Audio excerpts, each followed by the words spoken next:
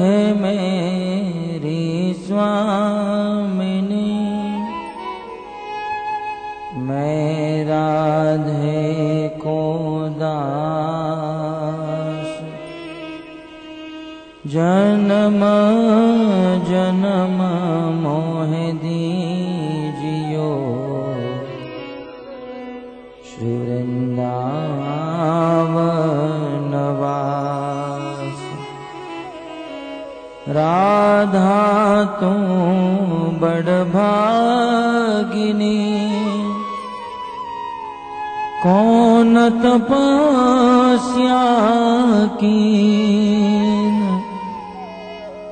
तीनों लोक के नाथ है। सो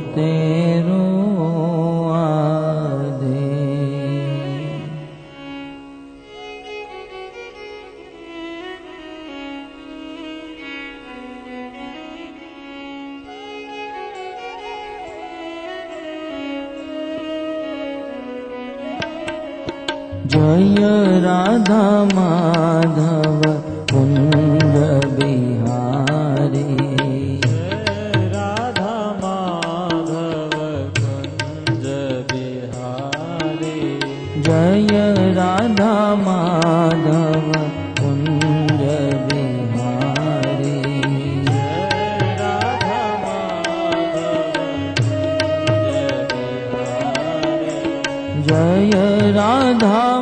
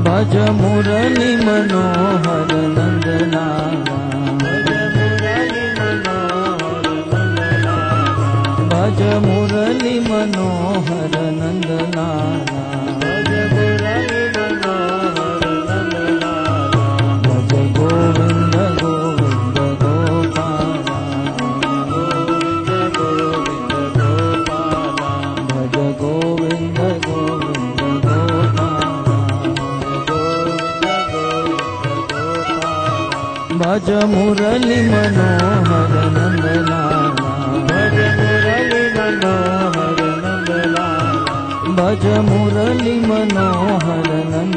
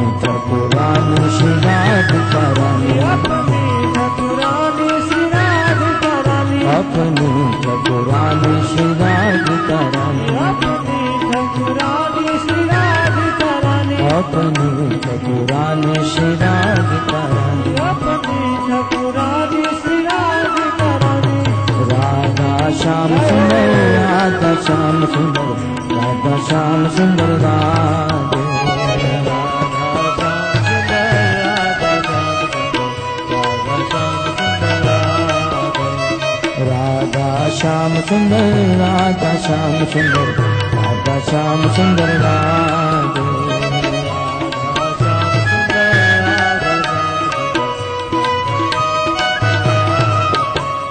कृष्ण बलराम कृष्ण बलराम कृष्ण बलराम जय कृष्ण बलराम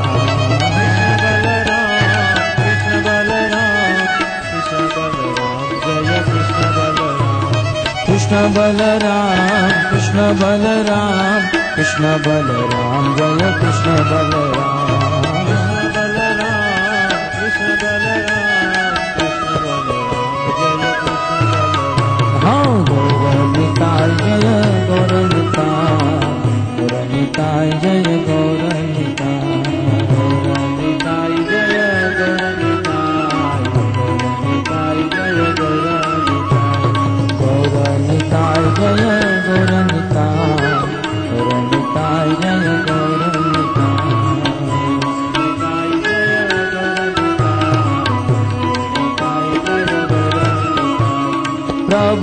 प्रभुपद प्रभुपद प्रभुपद शिल प्रभुपद प्रभुपद प्रभुपद प्रभुपद प्रभुपद प्रभुपद प्रभुपद शिल प्रभुपद प्रभुपद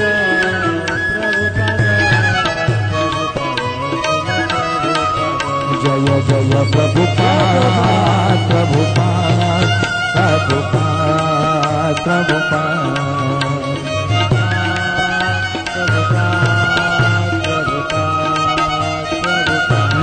गौर हरि बोल हरि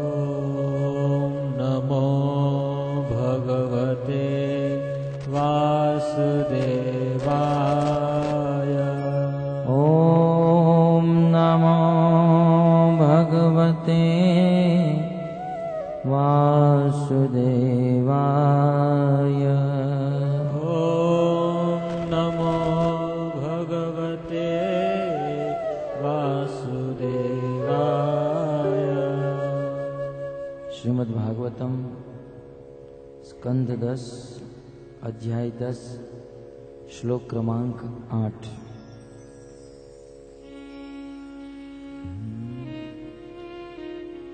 श्रीनारद उवाच। श्रीनारद उवाच। न ह्यन्यो जुषतो जोष्या।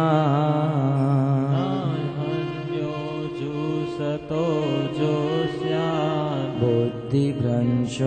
रजो गुणा बुद्धिभ्रंशो रजो गुण। श्रीमदादभिजात्यादि। श्रीमदादाभिजात्यादि। यत्र स्त्रीद्यूतमासव यत्र स्त्रीधूतमासव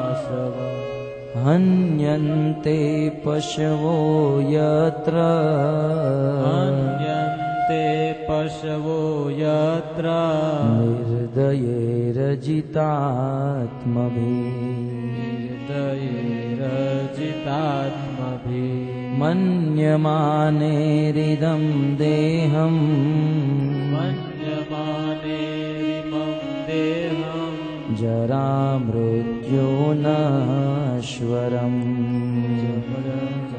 मृत्युनाश्वरम्। देवसङ्गीतमप्यन्ते। देवसङ्गीतमप्यन्ते। कृमे विभस्म कृमे गृही भस्मसङ्गीतम् भूतदृक्तत्कृते स्वार्थम्। भूतदृगत्कृते स्वार्था किं वेद निरयो यतः?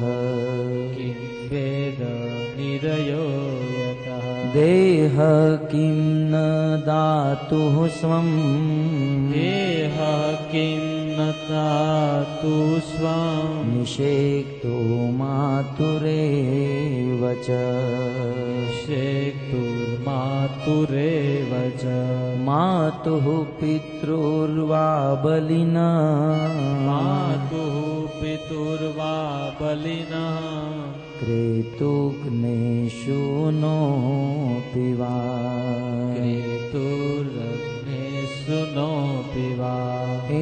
एवं साधारणं देहम्। एवं साधारणं देहम्। अव्यक्तप्रभवाप्ययम्। व्यक्तप्रभवाप्ययम् को विद्वानात्मसात् कृत्वा तात् कृत्वा हन्ति जन्तो नृते सतः जन्तुर्वते सतः असत श्रीमदान्धस्य। असत श्रीमदान्धस्य। दारिद्र्यम् परमजनम्। नारिद्र्यं परमञ्जनम् आत्मोपम्येन भूतानि। आत्मोपम्येन भूतानि। परमीक्षते। दरिद्रः परमीक्षते यथा कण्टकविद्वाङ्गो। यथा कण्टकविद्वाङ्गो। जन्तोर्नेच्छति तां व्यथा। जन्तोर्ने सति तां व्यथा। जीवसाम्यं गतो तिङ्गे। जीव गतो लिङ्गे। न तथा विद्वकण्टक। न तथा विद्वकण्टकम् दरिद्रो निरहं स्तम्भो। हरिद्रुमेर्हरस्तम्भो मुक्तः सर्वमदेरिह। मुक्तः सर्वमदेरिह श्रं यदीच्छाप्नोति गृष्टं यतश्च याप्नोति तद्वितस्य परं तपरं तपनित्यं श्रुच्छां देहस्य नित्यं श्रुच्छामदेहस्य दरिद्रस्यानका दरिद्रस्यानकाङ्क्षिणः दरिद्रस्यानकाङ्क्षिणः इन्द्रियाण्यनुशोषन्ति। इन्द्रियाण्यनुशोषन्ति। हिंसापि विनिवर्तते। सापि विनिवर्तते। दरिद्रस्येव युज्यन्ते भजन्ते साधवः समदर्शिनः। साधवः समदर्शिनः। सद्पेक्षिणोतितं तर्शम्। सत्पेक्षिणोतितं तर्श तत आराद्विशोध्यति तत आराद्विशोध्यति गुरुरुवे गौरचन्द्राय राधिकाय तदालये। कृष्णाय कृष्णभक्ताय। तद्भक्ताय नमो नमः निन्दन्तं पुलकोत्करेण विकस। अन्नीपप्रसुञ्छविम् क्रोध्वीर्कृत्य भुजद्वयं हरिहरि। युचे वदन् तं मोहो नृत्यन्तं दुतमाश्रुनिर्जरचये सिञ्चन्तभोरवेतलम् गायन्तं निजपार्षदे परिवृतम् श्रीगौरचन्द्रं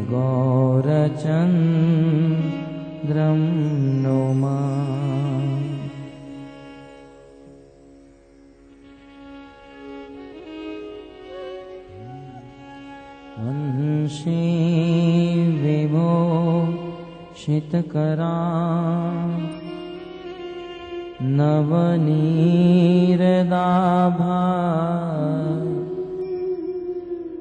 पीताम्बरदरुणबिं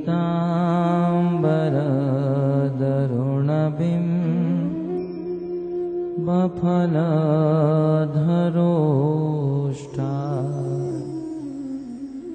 पूर्णेन्दुसुन्दरमुखा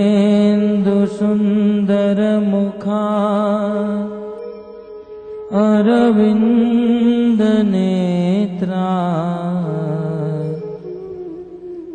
कृष्णात् परं किमपि तत्त्व अहं न जाने। करारविन्दे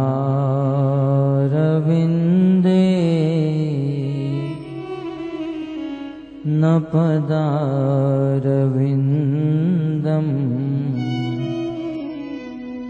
मुखारविन्दे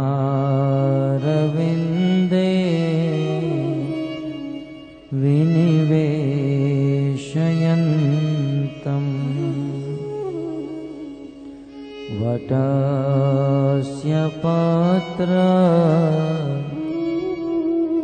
पुटेशयानम् बालं मुकुन्दम् मनसा स्मरामि श्रीकृष्ण गोविन्द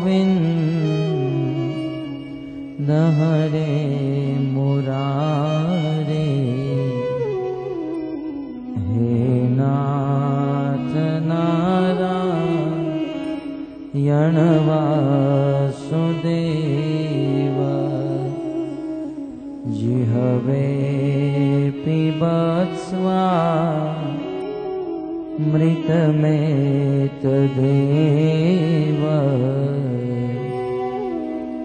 गोविन्द नम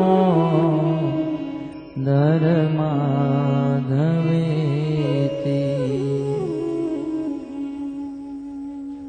जय जय श्रीराधा। जय जय नवल किशोर।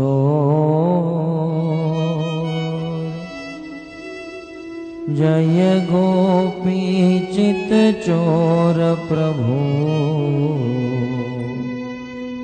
जय जय माखन चोर।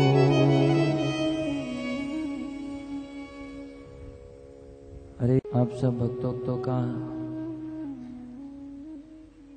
अंतर्राष्ट्रीय कृष्ण भावनामृत संघ द्वारा प्रस्थापित श्रीमद् भागवत कथा के षष्ठ दिवसीय प्रथम सत्र में हार्दिक स्वागत करते हैं। परम सौभाग्य से विभूषित, परम विरक्त चुड़ामणि परम भागवत। भागवत भास्कर, भागवत प्रधान, प्रातः स्मरणीय। व्यास नंदन वैयासकी श्री सुखदेव गोस्वामी के चरण कमलों में बैठकर भगवत कथा श्रवण करने का अवसर प्राप्त हुआ है। और हृदय को पवित्र करने वाली भागीरथी गंगा के तट पर हम सब उपस्थित हैं। भगवान श्री कृष्ण परम कृपालु है, अत्यंत दयालु है और उन्होंने देवी गंगा के ऊपर असीम अनुकंपा की है। गंगा और यमुना, ये दोनों सखी हैं। कई बार आपस में मिलती हैं। एक समय की बात, गंगा और यमुना दोनों एक साथ बैठी थी। तब उस समय गंगा ने बहुत अफसोस किया कि हे यमुना, तुम बड़ी भाग्यशाली हो। कि जब कृष्ण ने जन्म लिया, जन्म से ही कृष्ण तुम्हें सौभाग्य दे रहे हैं। जन्म से ही कृष्ण आप में प्रवेश करके मथुरा से गोकुल गए। और यमुना, प्रतिदिन कृष्ण तुम्हारे जल को पान करते हैं। यमुना तुम्हारे तट पर ही कृष्ण अनेकों लीला संपन्न करते हैं। यहाँ तक कि कृष्ण तुम्हें अपनी पटरानी मानते हैं। परंतु मैं कितनी दुर्भाग्यशालिनी हूँ। मैं भी तुम्हारी तरह एक नदी हूँ। परंतु कृष्ण से कोई संग नहीं। कृष्ण के चरणों से मेरा स्पर्श तो हुआ। लेकिन चरणों से स्पर्श होकर बस कृष्ण के चरणों से दूर जाती रहती हूँ। यदि, हे यमुना, यदि तुम्हें कृष्ण मिले तो जरा कहना कि जैसी कृपा कृष्ण ने तुम पर की, उनमें से एक प्रतिशत कृपा भी मुझ पर हो जाए तो मैं धन्याति धन्य बन जाऊँ। कुछ दिनों के बाद देवी यमुना को कृष्ण से मिलने का अवसर प्राप्त हुआ। यमुना और कृष्ण एक साथ बैठे थे और यमुना ने देवी गंगा के दुख की बात सुनाई। मेरी सखी कह रही थी कि आपने उनको सौभाग्य नहीं दिया। तब भगवान श्री कृष्ण ने यमुना को कहा, यमुना, जाओ जाकर गंगा को कह दो। कि मैं जन्म लिया यमुना के तट पर। मैं जीवन भर जल पिया यमुना का। और यमुना के तट पर मैंने अनेकों लीला संपन्न की। परंतु आज के बाद यद्यपि मैंने मेरी लीला यमुना के तट पर संपन्न की, परंतु मैं वरदान देता हूँ, आज के बाद इस कलयुग में जितनी भी कथाएँ होगी, वह गंगा के तट पर होगी। इसी के फल स्वरूप आप देखोगे, जब संकादिकों ने नारद मुनि के लिए, भक्ति महारानी के दोनों पुत्र ज्ञान और वैराग्य के लिए कथा की तो इसी गंगा के तट पर। या सुखदेव गोस्वामी ने महाराज परीक्षित को कथा सुनाई, इसी भागीरथी गंगा के तट पर। या फिर मैत्रेय मुनि ने विदुर जी को कथा सुनाई, इसी भागीरथी गंगा के तट पर। यह है गंगा का सौभाग्य। भगवत कथा, प्राय बड़े बड़े संत महात्मा मनीषी गंगा के तट पर बैठकर कथा को सुनाना और सुनना पसंद करते हैं। आज हम सबका परम सौभाग्य है कि इसी भागीरथी गंगा के तट पर बैठकर और सुखदेव गोस्वामी के चरणों में उपस्थित होकर उसी दिव्याति दिव्य, भगवान श्री कृष्ण की विशुद्ध लीला रचित श्रीमद् भागवत कथा श्रवण कर रहे हैं। श्रीमद् भागवत के दसम स्कंद के दसम अध्याय में गत सत्र में आपने श्रवण किया, किस प्रकार धनद कुबेर जी के पुत्र, जिनका नाम नल कुबेर और मणिग्रीव था कुबेर जी के दो पुत्र अपने पिता के धन के अभिमान में और रुद्रस्य अनुचरो भूतवा। और शिव जी के अनुचर होने के अभिमान से हृदय में इतना मद उत्पन्न हुआ कि एक दिन की बात कैला से उपवने स्थित। भगवान शिव जी के दिव्य लोक में, दिव्य तीर्थ स्थान में,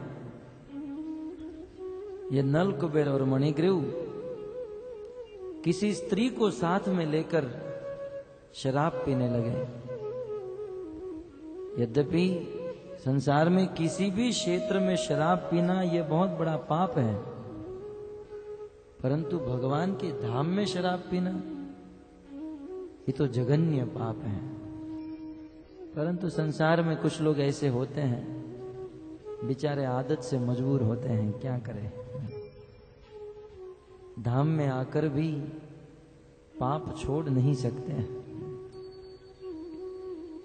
परंतु भगवान के धाम को समझकर, भगवान के धाम की महिमा को समझकर, उस धाम का पूर्ण पूर्ण लाभ लेने के लिए एटलीस्ट धाम में अपराधों से वर्जित रहना चाहिए। परंतु धन के अभिमान से शिव जी के वह पवित्र तीर्थ धाम में, कैलाश नामक स्थान में मंदाकिनी नदी बहती है और मंदाकिनी के उपवन में दो स्त्रियों के साथ ये दोनों पुत्र शराब पीकर नशे में चूर थे। और उन स्त्रियों के साथ गंगा में स्नान कर रहे थे। निर्वस्त्र स्नान कर रहे थे। उसी समय यदिच्छया स्वच्छंद गति से विचरण करने वाले परम भागवत श्री नारद मुनि वहाँ पर पधारे।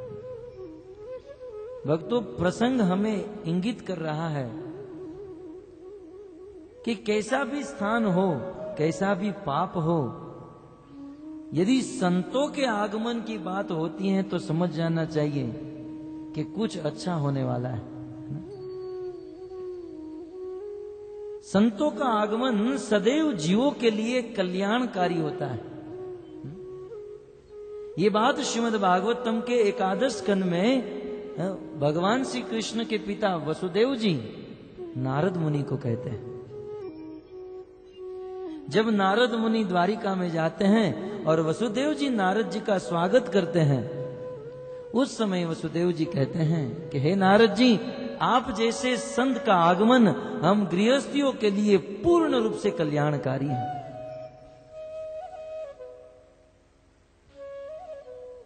आप आप जैसे संतों को छोड़कर इस संसार के मनुष्य प्राय अपने स्वार्थ के लिए विचरण करते हैं। मनुष्य एक स्थान से दूसरे स्थान पर जाता है क्यों? क्योंकि अपना स्वार्थ चाहिए। यहाँ तक देवता भी किसी के घर पर अपने स्वार्थ को साधने के लिए जाते हैं। भूता नाम देव चरितम सुखाय च, दुखाय च, वसुदेव जी कहते हैं। भूता नाम जीवों के लिए देवताओं का आगमन कभी कभी सुख के लिए होता है या तो कभी कभी दुख के लिए होता है? परंतु आप जैसे संत जिसके घर पर पधारते हैं ना, उस घर में सुख ही सुख, नित्य सुख की बारिश होती रहती है। ये है संतों का आगमन।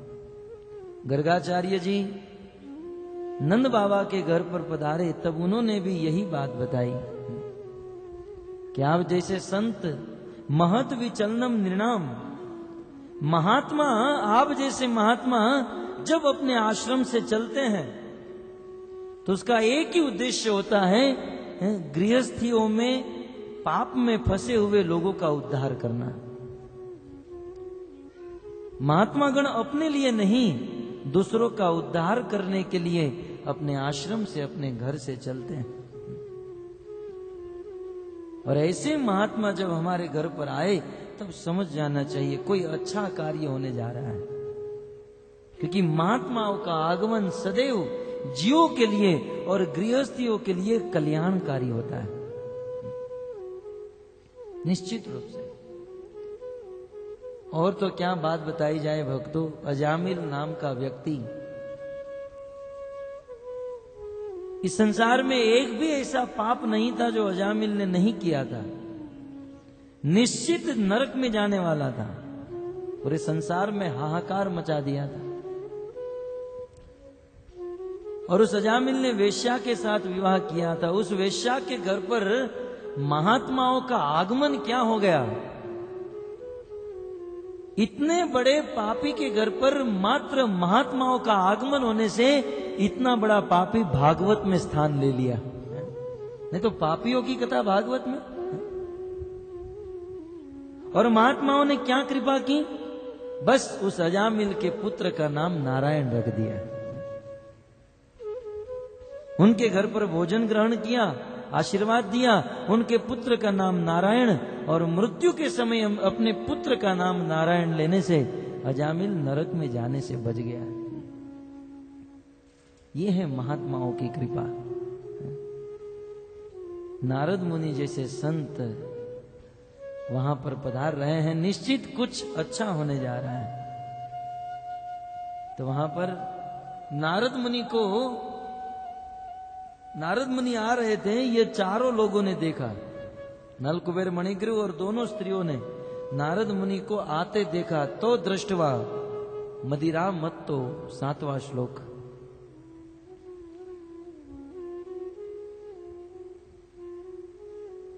नारद मुनि आ रहे हैं, नारद मुनि ने देखा। चारों लोगों ने नारद मुनि को देखा, स्त्री को लज्जा आ गई। और स्त्रियाँ वहाँ से दौड़कर अपने वस्त्र को पहनकर वहाँ से चली गई। परंतु इन दोनों को लज्जा नहीं आई। नारद मुनि ने देखा कि मदिरा में मत होने के कारण और अपुल वैभव संपत्ति होने के कारण ये दोनों अंधे हो गए हैं। तो दृष्टवा मदिरा मत्तो श्री मदान सुरात्म जो शराब के नशे में और धन के नशे में ये दोनों अंधे हो गए हैं। परंतु मैं साधु हूँ, संत हूँ। अतः मेरा कर्तव्य है इन दोनों के ऊपर कृपा करूँ। निश्चित मैं इन दोनों के ऊपर कृपा करूँगा। तयोर अनुग्रहार्थाय। और इन दोनों के ऊपर कृपा करने के लिए शापम दास्यम इदम जगो। मैं इन दोनों को शाप दूँगा। नारद मुनि ने तुरंत शाप नहीं दिया। नारद मुनि चलते हुए इन दोनों के पास जा रहे हैं, तब तक कुछ सोच रहे हैं। और नारद मुनि ने जो सोचा है, मानव समाज के लिए बहुत एक उपाध्यायी शिक्षा है। नारद मुनि ने अपने मन में जो सोचा है, यह बात यदि हमारे मन में तय हो जाए, हमारे मन में बस जाए तब इस दुनिया में क्रांति आ सकती है। हमारा सौभाग्य है, नारद मुनि ने मन में क्या सोचा, सुखदेव गोस्वामी ने जान लिया। और इसी स्थान में बैठकर सुखदेव गोस्वामी ने नारद जी के मन की बात हम सबको बताई। आइए, इस नल कुबेर और मणिगिरु को शाप देने से पहले नारद मुनि अपने मन में क्या सोच रहे हैं? इदम जगो जगो माने बोलना। नारद मुनि इदम इस प्रकार से बोले। तो प्रश्न हो सकता है, नारद मुनि किसको बोले? तब आचार्य गण कहते हैं, नारद मुनि अपने ही मन को बोले। हैं? वहाँ पर और कोई आदमी तो था नहीं, और वो दोनों पागल थे, नहा रहे थे, स्नान कर रहे थे। तो शापम दास्यम इदम जगो, इस प्रकार से नारद मुनि बोले। किसे बोले? नारद मुनि अपने ही मन को बोले। भक्तों, नारद मुनि जो कार्य कर रहे हैं ना, ये कार्य हमें रोज करना चाहिए। क्योंकि तो संसार के सामने तो हम बोलते ही रहते हैं, परंतु कभी कभी हमें हमारे मन को भी कुछ बोलना चाहिए। हमें हमारे मन को समझाना चाहिए। हमारे आचार्यों ने एक बहुत सुंदर ग्रंथ लिखा, मन शिक्षा।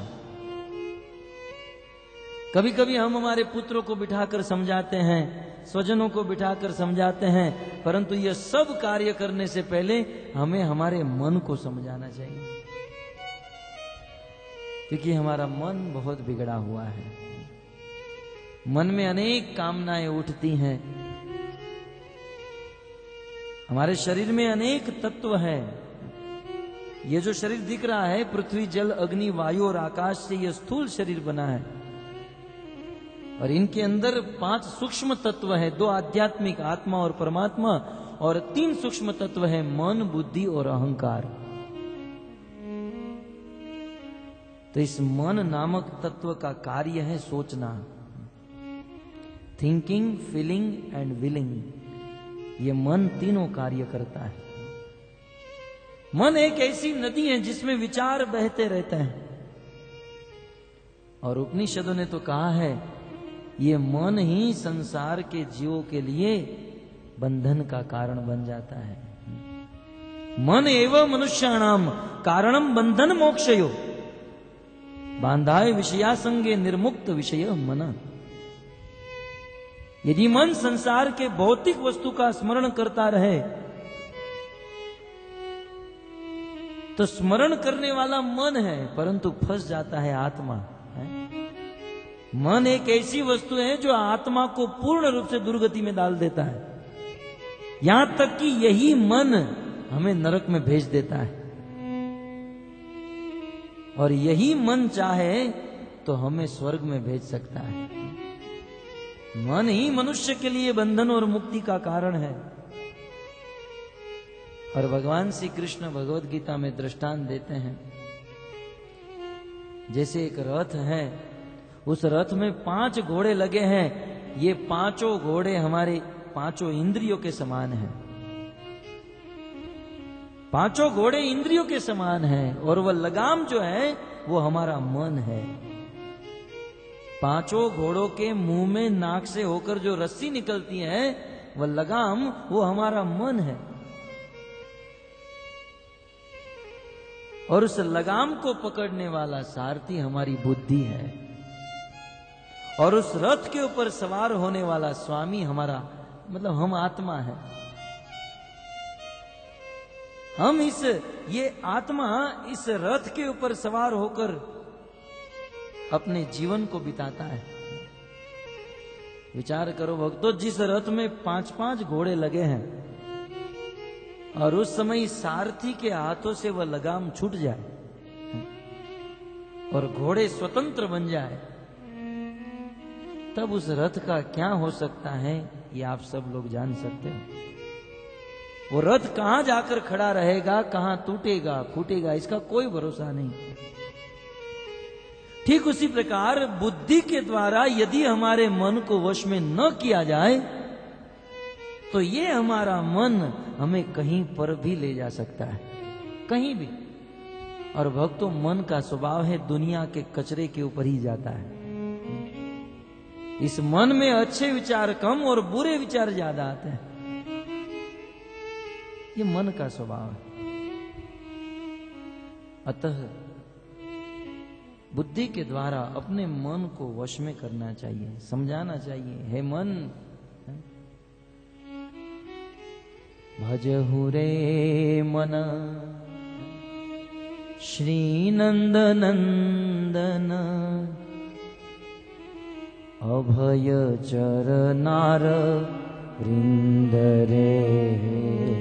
भजहु रे मन श्री नंद नंदन अभय चरनार विंद रे। गोविंद दास गौड़ीय परंपरा में एक अद्भुत संत हो गए।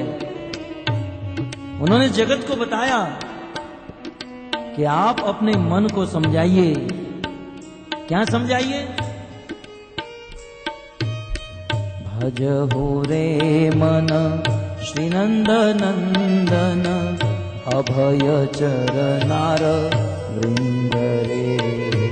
भजहु रे मन श्री नंद नंदन अभय चरनार विंद रे। दुर्लभ मानव सत्संगे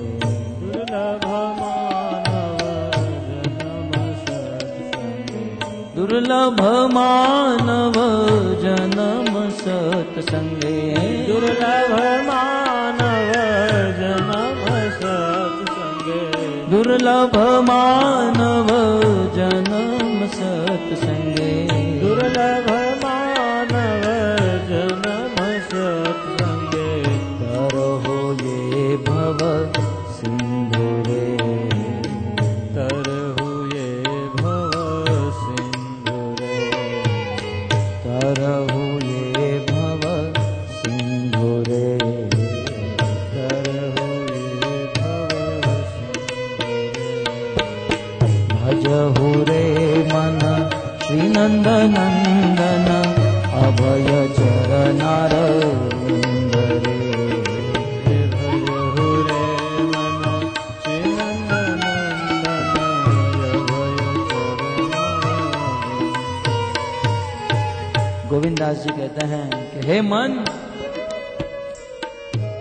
जाओ।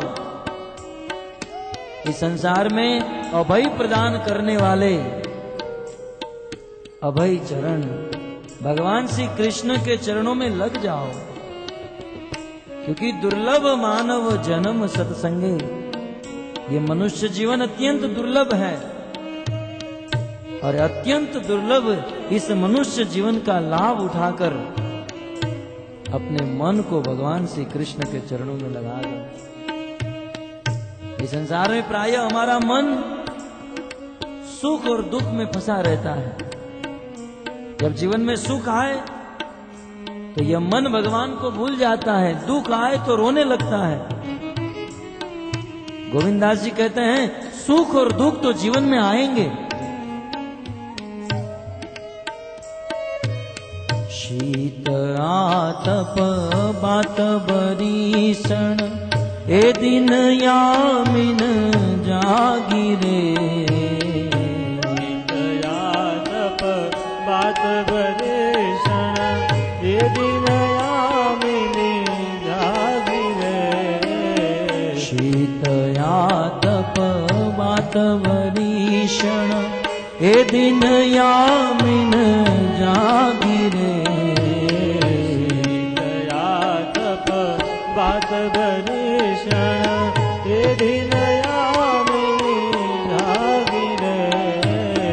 विफल से विनु कृपण दुर्जना। विफल से विनु कृपण दुर्जन। विफल से विनु कृपण दुर्जना। विफल से विनु कृपण दुर्जन। गोविंदा जी कहते हैं सुख और दुख तो जीवन में आएँगे। जैसे ठंडी के बाद गर्मी और गर्मी के बाद ठंडी, दिन के बाद रात और रात के बाद दिन, वैसे सुख के बाद दुख और दुख के बाद सुख आते रहेंगे। इस सुख दुख से संसार के जीव को विचलित नहीं होना चाहिए। अपने मन को विचलित नहीं करना चाहिए। और इस संसार में कब तक संसार के लोगों की गुलामी करोगे? थोड़े से सुख के लोभ में, थोड़े से इंद्र तृप- तृप्ति के भोग में, कब तक जगत के लोगों की गुलामी करते रहोगे? छोड़ो जगत के लोगों को और लग जाओ कृष्ण के चरणों में। अपने मन को मनाइए।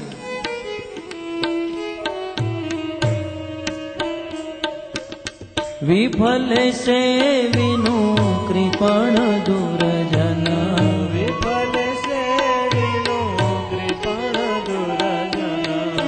फल से विनो कृपण दुरना भो कृपण दुर चपलन लु रे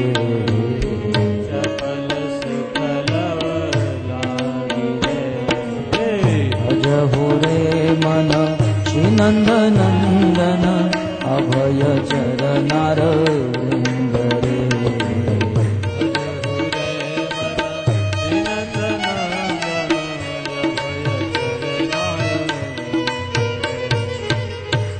धन यौवन पुत्र परिजन। इथे किया छे पर તીરે यौवन पुत्र परिजन इथे किया छे परते तेरे। मनाइए अपने मन को है मन कब तक तू अपने पुत्र में परिजन में पत्नी में और धन में फंसा रहेगा?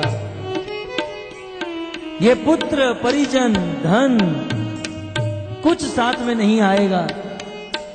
और जीवन बहुत कम बचा है। जैसे कमल के पत्र के ऊपर पानी की बूंद स्थित होती है, कब हवा आ जाए और गिर जाए, इसका कोई भरोसा नहीं।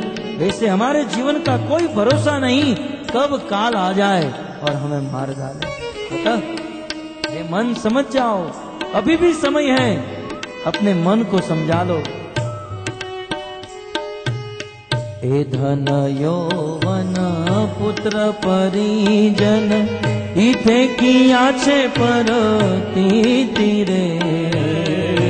धन यौवन पुत्र परिजन इथे किया छे परती तीरे। कमल दल जल जीवन टलमल कमल दल जल जीवन तल कमल दन जन जीवन जलमन रमदन जन जीवनम कमलदन जन जीवन जलमन रमदन जन जीवन भजहो हरि भद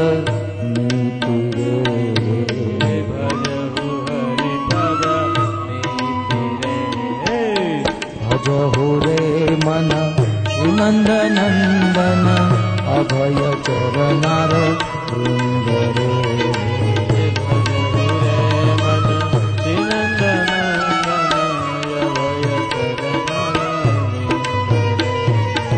श्रवणकीर्तन स्मरणवन्द पादसेवन दास्य रे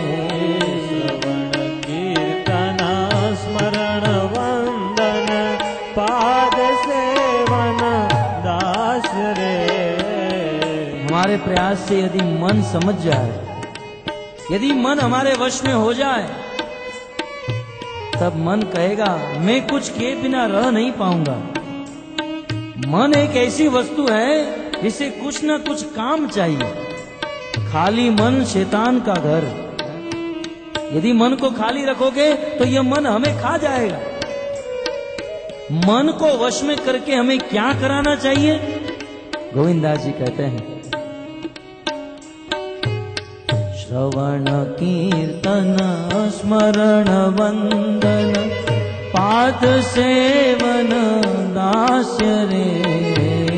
श्रवणकीर्तन स्मरणवन्दन पादसेवन दासरे पूजन सखी जन आत्मनिवेदन। पूजन सखि जन पूजन सखी जन आत्मनिवेदन।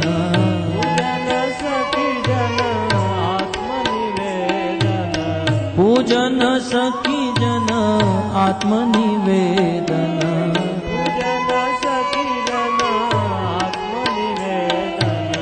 गोविन्द दास गोविन्द दासरे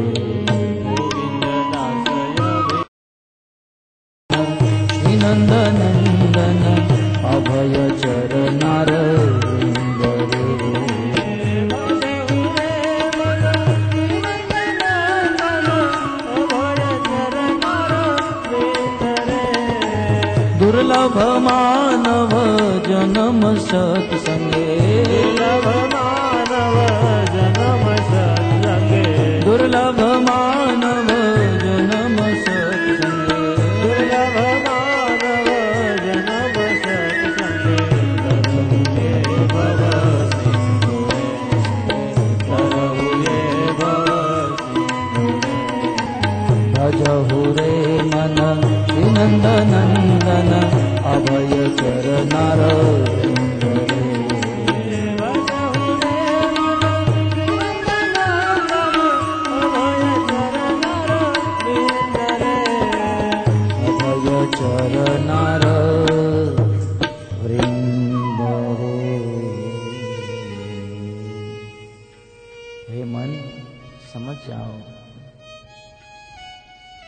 समझाइए अपने मन को।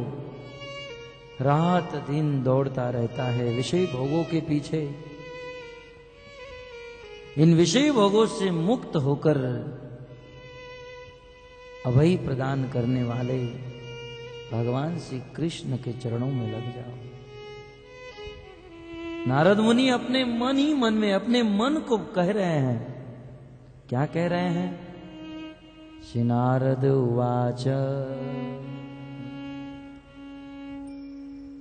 नयन्यो जुषतो जोष्यान बुद्धि भ्रंशो रजो गुण। श्रीमदादाभिजात्यादि यत्र श्री द्यूतमासन इस अष्टम श्लोक में नारद जी कहते हैं, अपने मन ही मन को श्राप देने से पहले अपने मन ही मन में थोड़ा सोच रहे हैं। उस नल कुबेर और मणिग्रीव के विषय में। भक्तों, आप ये मत सोचिए कि नारद मुनि नल कुबेर और मणिग्रीव को देखकर ये सोच रहे हैं। यदि हमें पवित्र होना है तो आप ये सोचिए, नारद मुनि हम लोगों को देखकर ये सोच रहे हैं। ये मात्र नल कुबेर और मणिग्रीव की कथा नहीं, ये हम सबकी कथा है। हम सबकी व्यथा है। क्या सोच रहे हैं? नहीं अन्यो जुषतो जोश्यान बुद्धि भ्रंशो रजो गुण। इस संसार में मनुष्य की बुद्धि भ्रष्ट करने वाला धन मद से बड़ा और कोई दोष नहीं है। श्रीमदाद अभिजात्यादि यत्र श्री द्युत मासन किसी भी मनुष्य में दोष तो बहुत सारे हो सकते हैं, परंतु श्रीमद धन का अभिमान जो है, ये सबसे बड़ा है। वैसे तो मनुष्य में रजोगुण भी बहुत बड़ा दोष है, परंतु धन का अभिमान जितना बड़ा दोष ये रजोगुण नहीं है, क्योंकि रजोगुण के द्वारा व्यक्ति ही भौतिक विषयों में आसक्त रहता है। यदि किसी व्यक्ति में रजोगुण नामक तत्व आ जाए तो वह व्यक्ति किसी में आसक्त होकर अपना जीवन बिताता है। परंतु धन का मद, धन का अभिमान यदि किसी को आ गया, श्रीमदाद अभिजात्यादि श्रीमद जिसमें आ गया, धन का अभिमान जिसमें आ गया, उसका इस संसार में पूर्ण रूप से पतन हो जाएगा। क्यों? क्योंकि धन का अभिमान एक ऐसी वस्तु है जिसमें सारे पाप छिपे हुए हैं। धन के, धन का अभिमान हो गया तो व्यक्ति अनेकों पापों में उलझ जाएगा। नारद मुनि ये भी बता रहे हैं किन किन पापों में उलझ जाएगा? श्रीमदाद अभी जात्याति जिसमें श्री का धन का मद है, कहते हैं उसमें यत्र स्त्री द्युत मासन जिसको धन का अभिमान हो गया, वो किसी अन्य पर स्त्री में आसक्त होगा। निश्चित, ये धन का दोष है। भक्तों, धन जब हमारे पास आता है तो ये मत समझिए मात्र धन ही आ रहा है। धन अपने साथ अनेकों दोषों को लेकर आता है। भागवत के दसम स्कंद में एक जगह पर शिद्र स्वामी ने लिखा है, अर्थ ही अनर्थस्य मूलनम। ये अर्थ ही कभी कभी अनर्थों का मूल बन जाता है। अर्थ के अनर्थ क्या है? नारद जी, मन ही मन में सोच रहे हैं कि यह धन धन का अभिमान सबसे पहला स्त्री। स्त्री के चक्कर में फंसा देता है। जितने भी बड़े बड़े धनी लोग हो गए, चाहे भूतकाल में, चाहे वर्तमान काल में, धन का अभिमान होते ही पर स्त्री का संग करने लगे। और जैसे ही वो पर स्त्री का संग करने लगते हैं, किसी स्त्री में आसक्त हो जाते हैं उसका जीवन बर्बाद हो जाता है। कितना भी बड़ा व्यक्ति हो, कितना भी बड़ा पराक्रमी हो, प्रभावशाली हो, लेकिन धन के अभिमान से स्त्री का संग हो गया, वो व्यक्ति है। एक नहीं, सैकड़ों दृष्टांत भागवत में दिए गए भागवत के नवम स्कंद में और एकादश स्कंद में दो दो बार महाराज पुरुरवा की कथा बताई गई अद्भुत पराक्रमशाली राजा, पूरे दुनिया के चक्रवर्ती सम्राट। जिनका गुणगान मात्र पृथ्वी पर ही नहीं बड़े बड़े देवता, देवराज इंद्र की सभा में पृथ्वी के राजा पुरुर्वा की चर्चा होती थी। पुरुर्वा, इस संसार के सम्राट, धनी, ऐश्वर्यशाली राजा। और उस समय देवराज इंद्र की सभा में जब राजा पुरुर्वा की चर्चा चली राजा पुरुर्वा के गुणगान होने लगे।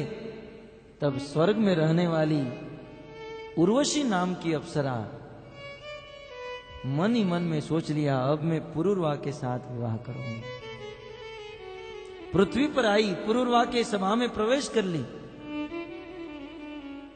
आज तक राजा पुरुर्वा सिंह की तरह घूमता था, लेकिन जैसे इस उर्वशी को देखा, उर्वशी में मोहित हो गया। और कहा, तुम मेरे साथ विवाह करो। उर्वशी ने कहा, मेरी शर्त है कि मैं कुछ भी करूँगी, तुम्हें मुझे रोकना नहीं है। और यदि तुम मेरे सामने नग्न होकर प्रस्तुत हुए तो मैं तुम्हें छोड़कर चले जाऊँगी।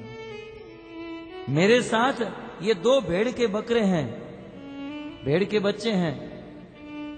इस दोनों भेड़ के बच्चे को तुम, तुम्हें ध्यान रखना होगा। यदि ये भेड़ के बच्चे चले गए तो मैं तुम्हें छोड़कर चली जाऊँगी। स्त्री में आसक्त व पुरुरवा उस स्त्री की सारी शरत को अंगीकार कर लिया, विवाह कर लिया। सतयुग की यह घटना है। परंतु विवाह करने के बाद वो स्त्री में इतना फंस गया, इतना फंस गया। स्त्री के बिना रह नहीं सकता था। एक दिन की बात वो दोनों भेड़ के बच्चे कहीं भाग गए। और पुरुरवा उसकी रक्षा नहीं कर सका और उर्वशी उसे छोड़कर चली गई। जैसी उर्वशी छोड़कर चली गई, ये पुरुरवा उनके चरणों में गिर गया। पूरी दुनिया और पूरी दुनिया के राजा जिसके तख्त को चुमते थे, वह राजा पुरुरवा आज किसी स्त्री के चरणों में है, पशु की तरह लौट रहा है। इसलिए तो गोस्वामी को कहना पड़ा, है? नारी विवश नर सकल गोसाई, नाचे नर मर कटकी जैसे एक बंदर मदारी के हाथों में इशारे पर नाचता है, वैसे संसार का नर स्त्री के इशारे पर नाचता है। पुरुरवा उसके चरणों में गिर गया, परंतु वह निर्दय उसे छोड़कर चली गई। और उस दिन से उसका मन न तो राज्य में लगता था, न किसी कार्य में लगता था। राज्य का शासन छोड़ छोड़ दिया। दर दर भटकने लगे महाराज पुरुरवा। भिक्षुक हो गए। और उन्होंने हज़ारों हज़ारों वर्ष तक उस उर्वशी को प्राप्त करने के लिए मेहनत की। सतयुग समाप्त हो गया। सुखदेव गोस्वामी वर्णन करते हैं त्रेता युग आ गया, युग बदल गया। लेकिन पुरुर्वा की आसक्ति नहीं बदली। और त्रेता युग में यज्ञ करके जब अग्नि देवता प्रसन्न प्रकट हुए, क्या चाहिए? बोले, मुझे स्वर्ग में जाना है, उर्वशी के साथ संग करना है। स्वर्ग में गए, हैं? और स्वर्ग में जाकर उर्वशी से संग किया, भगवान की कृपा से वैराग्य हुआ। और वैराग्य होने के बाद महाराज पुरुरवा ने एक गीत गाया उर्वशी को छोड़ दिए, इस पृथ्वी पर आए और पृथ्वी पर आकर महाराज पुरुरवा ने एक गीत गाया। और वही गीत अपने धाम में जाते हुए भगवान श्री कृष्ण ने उद्धव जी को सुनाया। उद्धव, सुनो, यदि कोई व्यक्ति स्त्री की आसक्ति में फंस गया तो उसकी क्या स्थिति होगी? पुरवर महाराज ने अपने जीवन का अनुभव बताया है। जिसे भागवत में ऐल गीत, इला के पुत्र थे ये पुरुरवा, इसलिए इनका नाम था ऐल और इन्होंने जो गीत गाया अद्भुत। वो गाना प्रारंभ करते हैं, संस्कृत में श्लोकों में गाते हैं। ओह ओह ओह अहो, मैं पश्यता ज्ञानम हृदय रुडम दुरात्मन।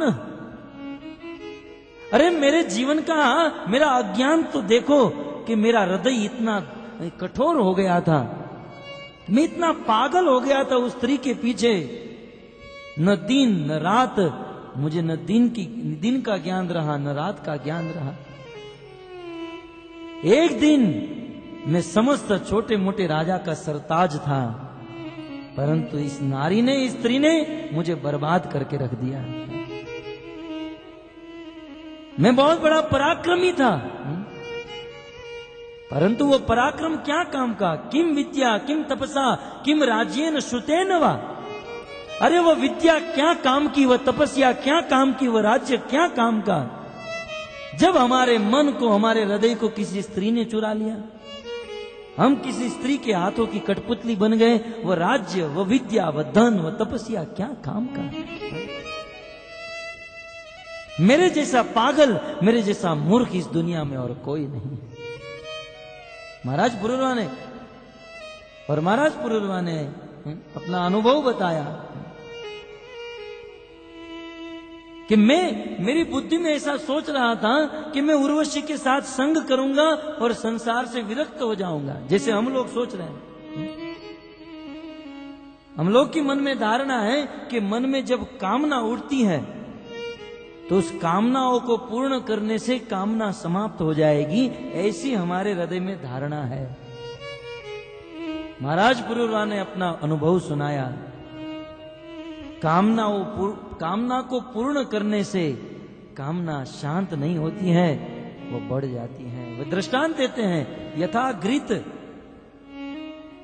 यथा अग्नि। ये कामना अग्नि के समान है। और कहीं अग्नि उठ जाए, आग लग जाए, और उस आग को बुझाने के लिए उसमें घी की आहुति डाल दी जाए तो आग बुझेगी। हाँ कुछ समय के लिए वह आग बुझ जाएगी, परंतु थोड़ी ही घड़ी में वह आग दस गुना और बढ़ जाएगी। ठीक उसी प्रकार हमारे मन में ये काम वासना आग की तरह भड़कती है। यदि हम उसको पूर्ण करेंगे तो उसे घी की आहुति डालने के बराबर है। वे कामना घटेगी नहीं, कामनाओं को पूर्ण करने से कामना दस गुना और बढ़ जाएगी। महाराज पुरुरवा ने अपना अनुभव। और महाराज पुरुरवा की तरह हमारे इतिहास में राजा भरत हरि को वैराग्य हुआ। और भरत हरि को वैराग्य होकर उन्होंने एक ग्रंथ लिखा, वैराग्य शतक। और अपना अनुभव दिया, भोगान भोगता वैमेव भोगता तपसान तपता वही में वो तपता। मैं सोच रहा था कि मैं भोगों को भोग रहा हूँ। मैं सोच रहा था कि मैं उस स्त्री का सुख ले रहा हूँ और मैं उस स्त्री को भोग रहा हूँ। परंतु वास्तव में आज मुझे पता चला कि उस स्त्री ने ही मुझे भोग लिया। मेरे मन में यह भ्रांति थी कि मैं भोगों को भोग रहा हूँ, परंतु मैंने भोगों को नहीं भोगा, भोगों ने मुझे भोग लिया। कभी कभी हम लोग सोचते हैं कि हम सिगरेट को पी रहे हैं, हम शराब पी रहे हैं, परंतु हम शराब और सिगरेट को नहीं यह सिगरेट और शराब हमको पी रही है। यह बुद्धि सबको आएगी, निश्चित आएगी इसे पूर्वा को आई। परंतु भक्तों, जिस समय यह बुद्धि आएगी, उस समय हमारे पास समय नहीं बचेगा। सूरदास जी कहते हैं, मन पछतई है, अवसर बीते अवसर बीत जाने के बाद, जीवन चले जाने के बाद, यदि मन में पछतावा भी हो जाए तो क्या काम का? अतः इन इतिहास से, इन कथाओं से हमें हमारे मन को समझा लेना चाहिए।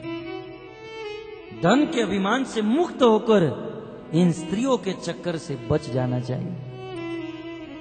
नहीं तो यह जीवन बर्बाद हो जाएगा। नारद मुनि अपने मन ही मन ही मन में सोच रहे हैं, धन के अभिमान का सबसे पहला विकार क्या है? बोले, स्त्री। ये धन जो है, स्त्री के चक्कर में फंसा देता है। हमारे इतिहास में, जब देवराज इंद्र ने वित्रासुर का वध किया, वित्रासुर का वध करने से ब्रह्म हत्या देवराज इंद्र के पीछे दौड़ी। साक्षात ब्रह्म हत्या स्त्री का रूप लेकर देवराज इंद्र के पीछे दौड़ी और उस समय इंद्र दौड़कर मान सरोवर में कमल की दंडी में जाकर छिप गए। एक हज़ार वर्ष तक। तब उस एक हज़ार वर्ष तक स्वर्ग का राजा ब्रह्मा जी ने राजा नरिक को बनाया। एक हज़ार वर्ष तक राजा नृग स्वर्ग के ऊपर शासन किए। क्योंकि ब्रह्मा जी ने देखा कि इंद्र एक हज़ार वर्ष तक कमल की दंडी में रहने वाला है। और बिना इंद्र के स्वर्ग कैसे चलेगा? अतः ब्रह्मा जी ने बहुत सुंदर, गुणवान, सुशील एक राजा नृग को स्वर्ग का राजा बनाया। बहुत अच्छे थे। गुण वाले होने के कारण ही तो ब्रह्मा जी ने उसे राजा बनाया। परंतु जैसे ही वह राजा नृग स्वर्ग के राजा बने और इंद्र की सारी संपत्ति उनके पास आई, उनका माथा बिगड़ गया। दिमाग आउट हो गया। नारद मुनि यही समझा रहे हैं कि धन आने से दिमाग कैसे आउट हो जाता है, ये धन का विकार। पहले बहुत अच्छे थे, लेकिन स्वर्ग की संपत्ति हाथ में आते ही तुरंत उसके मन में अभिमान हुआ ये पूरा स्वर्ग मेरा है, स्वर्ग की संपत्ति मेरी। तो फिर स्वर्ग की जो पत्नी है, देवराज इंद्र की पत्नी, जिसका नाम शची था, ये शची भी मेरी। सीधा अटैक स्त्री के ऊपर। भक्तों, जब अधर्म प्रवेश करता है ना तो सबसे पहले व्यक्ति के दिमाग में स्त्री का चक्कर आने लगता है। ये हम नहीं, भगवत गीता के प्रथम अध्याय में अर्जुन कहते हैं अधर्म अभिभवात कृष्ण प्रदुष्यंती कुल स्त्रिय स्त्रीशु दुष्टासु वाष्णय जायते वर्ण शंकर। शंकरो नरकाय व कुल ज्ञाना कुलस्य च पतंती पितरो ये लुप्त पिंडो दक क्रिया। धर्म का प्रथम वार स्त्री के ऊपर होता है, अधर्म का प्रथम वार। राजा नृग ने इंद्र की पत्नी शची को बुलाया, तुम मेरे साथ संग करो, विवाह करो। इंद्र की पत्नी शची तो साध्वी नारी थी, सती थी, परम पवित्र नारी थी।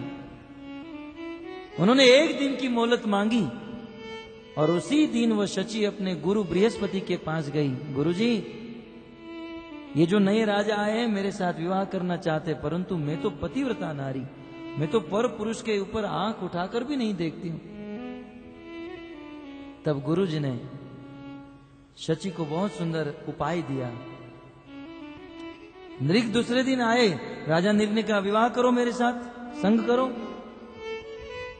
तब इंद्र पत्नी शची ने कहा, मैं तुम्हारे साथ विवाह तो करूँगी, परंतु मेरी एक शर्त है। क्या शर्त है? बोले, सप्तर्षि, सात ऋषि जो आज भी आकाश में है।